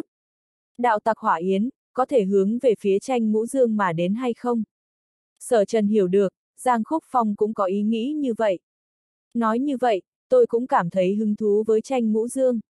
Sở Trần bước nhanh hơn, đi thôi. Liễu mạn mạn cười, con người lộ ra vẻ chờ. Mong, tranh ngũ dương tuy rằng không nằm trong top 10 bức tranh cổ họa của Trung Quốc, nhưng giá trị siêu tầm của nó cũng là không thể đo lường được. Những người vào phòng triển lãm để thưởng thức các bức tranh được chia thành hai loại, một là mua vé vào, và một là nhận được thư mời, một số người đến phòng triển lãm, không chỉ để thưởng thức các bức tranh, còn một lý do là xem phong thái của các bậc thầy trong ngành. Giang Khúc Phong dẫn theo hai người sở trần từ lối đi dành cho khách mời tiến vào phòng triển lãm, bên ngoài người xếp hàng tuy rằng rất nhiều, nhưng phòng triển lãm cũng đủ lớn, ngoại trừ tác phẩm thư họa trưng bày trong đại sảnh ra, còn có một gian phòng riêng biệt, ngăn cách dòng người ra, ba người sau khi đi vào cũng không cảm thấy tắc nghẽn. Quả thật không tệ a. À. Sở Trần vừa đi, vừa nhìn tác phẩm thư họa hai bên, thỉnh thoảng bình luận vài câu, liễu mạn mạn ở một bên tiếp lời, hai người tán gẫu còn rất vui vẻ, điều này khiến sở trần cảm giác tối hôm qua hiểu lầm kia thật sự đến quá kịp thời, nếu không, hôm nay anh đi theo Giang Khúc Phong ở chỗ này một ngày, phỏng chừng sẽ nghẹn khóc. Đúng rồi, hôm nay còn có một bậc thầy thư họa vẽ tranh trực tiếp. Liễu mạn mạn nhìn sở trần một cái, anh rất quen, là khắc đại sư. Một bức tranh bát tuấn của sở trần, đánh bại la khắc, khiếp sợ giới thư họa. Triển lâm thư họa được tổ chức tại Dương Thành, là khắc đại sư tương đương với là nửa chủ nhà, đương nhiên việc đáng làm thì phải làm là người đầu tiên đi ra. Ngoài khách mời, phòng triển lãm còn bố trí nhiều bảo vệ để đảm bảo an toàn cho bức tranh. Hai người vừa đi vừa nói, rất nhanh liền đi tới đại sảnh trung tâm của phòng triển lãm. Nhiều người tụ tập ở đây, La Khắc Đại Sư còn 10 phút nữa là tới. Cuối cùng có cơ hội tận mắt chứng kiến La Khắc Đại Sư vung mực vẽ tranh bát tuấn, hôm nay tới thật đáng. Không sai, tôi đặc biệt từ Kinh Thành tới đây, mục đích hôm nay có hai việc, một là tranh ngũ dương, vừa rồi đã thưởng thức qua, quả thật chấn động, còn có một cái, đương nhiên chính là tranh bát tuấn của La Khắc Đại Sư. Nhẹ nhàng nói một câu, các người chẳng lẽ không biết, đương kim thư họa giới, tranh bát tuấn của La Khắc Đại Sư, đã không thể xem như tranh bát tuấn đỉnh phong. Các người sợ là chưa từng thấy qua song tiên nhập thần của sở trần đi. Đó mới là vô cùng kỳ diệu, lúc đó tôi đã ở hiện trường, sở trần vốn còn muốn đi về phía này, nghe thấy lời này, lập tức thay đổi một hướng khác, anh cũng không muốn bị nhận ra, trở thành một trong vật triển lãm nơi này. Nhân khí của anh ở Dương Thành còn rất nổi. Liễu mạn mạn trêu chọc một câu, sau đó theo bản năng lại nhìn thoáng qua Giang Khúc Phong đi trước. Từ đầu đến cuối, quái nhân này, một câu cũng không nói. Hắn đến đây để làm gì? Phòng triển lãm có rất nhiều sảnh nhỏ, mỗi một sảnh nhỏ đặt tác phẩm cơ hồ đều là cùng một thể loại, sở trần tự nhiên cũng sẽ không dừng lại ở mỗi một sảnh nhỏ, chỉ chọn tác phẩm mình cảm thấy hứng thú thưởng thức một hồi. Khi đi ngang qua một sảnh nhỏ của một tác phẩm thư họa thể loại hoa cỏ, bước chân liễu mạn mạn rõ ràng dừng lại một chút. Nhưng Giang Khúc Phong vẫn chưa dừng lại. Cô vào đi, tôi sẽ đợi ở bên ngoài, tiện thể nói vài câu với hắn. Sở Trần chỉ vào Giang Khúc Phong. Liễu mạn mạn gật gật đầu, trong lĩnh vực vẽ tranh, cô quả thật đặc biệt hứng thú với hoa. Sau khi liễu mạn mạn tiến vào sảnh nhỏ, sở trần đuổi theo Giang Khúc Phong, Giang tiền bối, ngài cảm thấy đại Tạc hỏa yến sẽ hướng về phía tranh ngũ dương không? Giang Khúc Phong gật đầu, ngài có nghĩ hôm nay hắn sẽ đến nghiên cứu địa hình không? Giang Khúc Phong gật đầu, nhưng tôi cẩn thận xem tư liệu về đạo Tạc hỏa yến, căn bản không có bất kỳ hình ảnh nào có liên quan đến hắn, cho dù hắn xuất hiện ở chỗ này, ngài có thể nhận ra hắn không? Giang Khúc Phong lắc đầu, khóe miệng sở trần giật giật, vậy chúng ta tìm như thế nào? Giang Khúc Phong dừng một chút, ngạc nhiên, nhìn sở trần, phảng phất như đang nói, người thế nhưng hỏi một vấn đề dùng động tác đầu không trả lời được. Một lúc lâu sau, Giang Khúc Phong mở miệng quan. Liễu mạn mạn thưởng thức tác phẩm đi ra, Giang Khúc Phong lại mỏ miệng sát. Liễu mạn mạn sửng sốt, muốn uống trà không? Đại sảnh có nơi phục vụ trà, tuy nhiên, tôi đề nghị chúng ta nên đi xem tranh ngũ dương trước, tranh ngũ dương ở trong cùng phòng triển lãm, phòng triển lâm sẽ hạn chế số lượng tiến vào, hơn nữa mỗi người ở lại không được quá 5 phút. Vậy thì xem tranh ngũ dương trước đi. Sở Trần hiểu được ý tứ của Giang Khúc Phong, hôm nay anh chẳng qua cũng là suy đoán đạo tặc hỏa yến trở về nghiên cứu địa hình, nhưng đối với tư liệu đạo tặc hỏa yến thật sự quá ít, tuy rằng đạo tặc hỏa yến phạm phải vài đại án, nhưng không lưu lại bất kỳ hình ảnh nào ở hiện trường, cứ như vậy, muốn bằng vào hai mắt đi quan sát, ở trong đám người phân biệt ra người nghi là đạo tặc hỏa yến, không thể nghi ngờ là khó như lên trời. Nhưng Giang Khúc Phong hiện tại cũng chỉ có thể dùng cách ngu xuẩn này.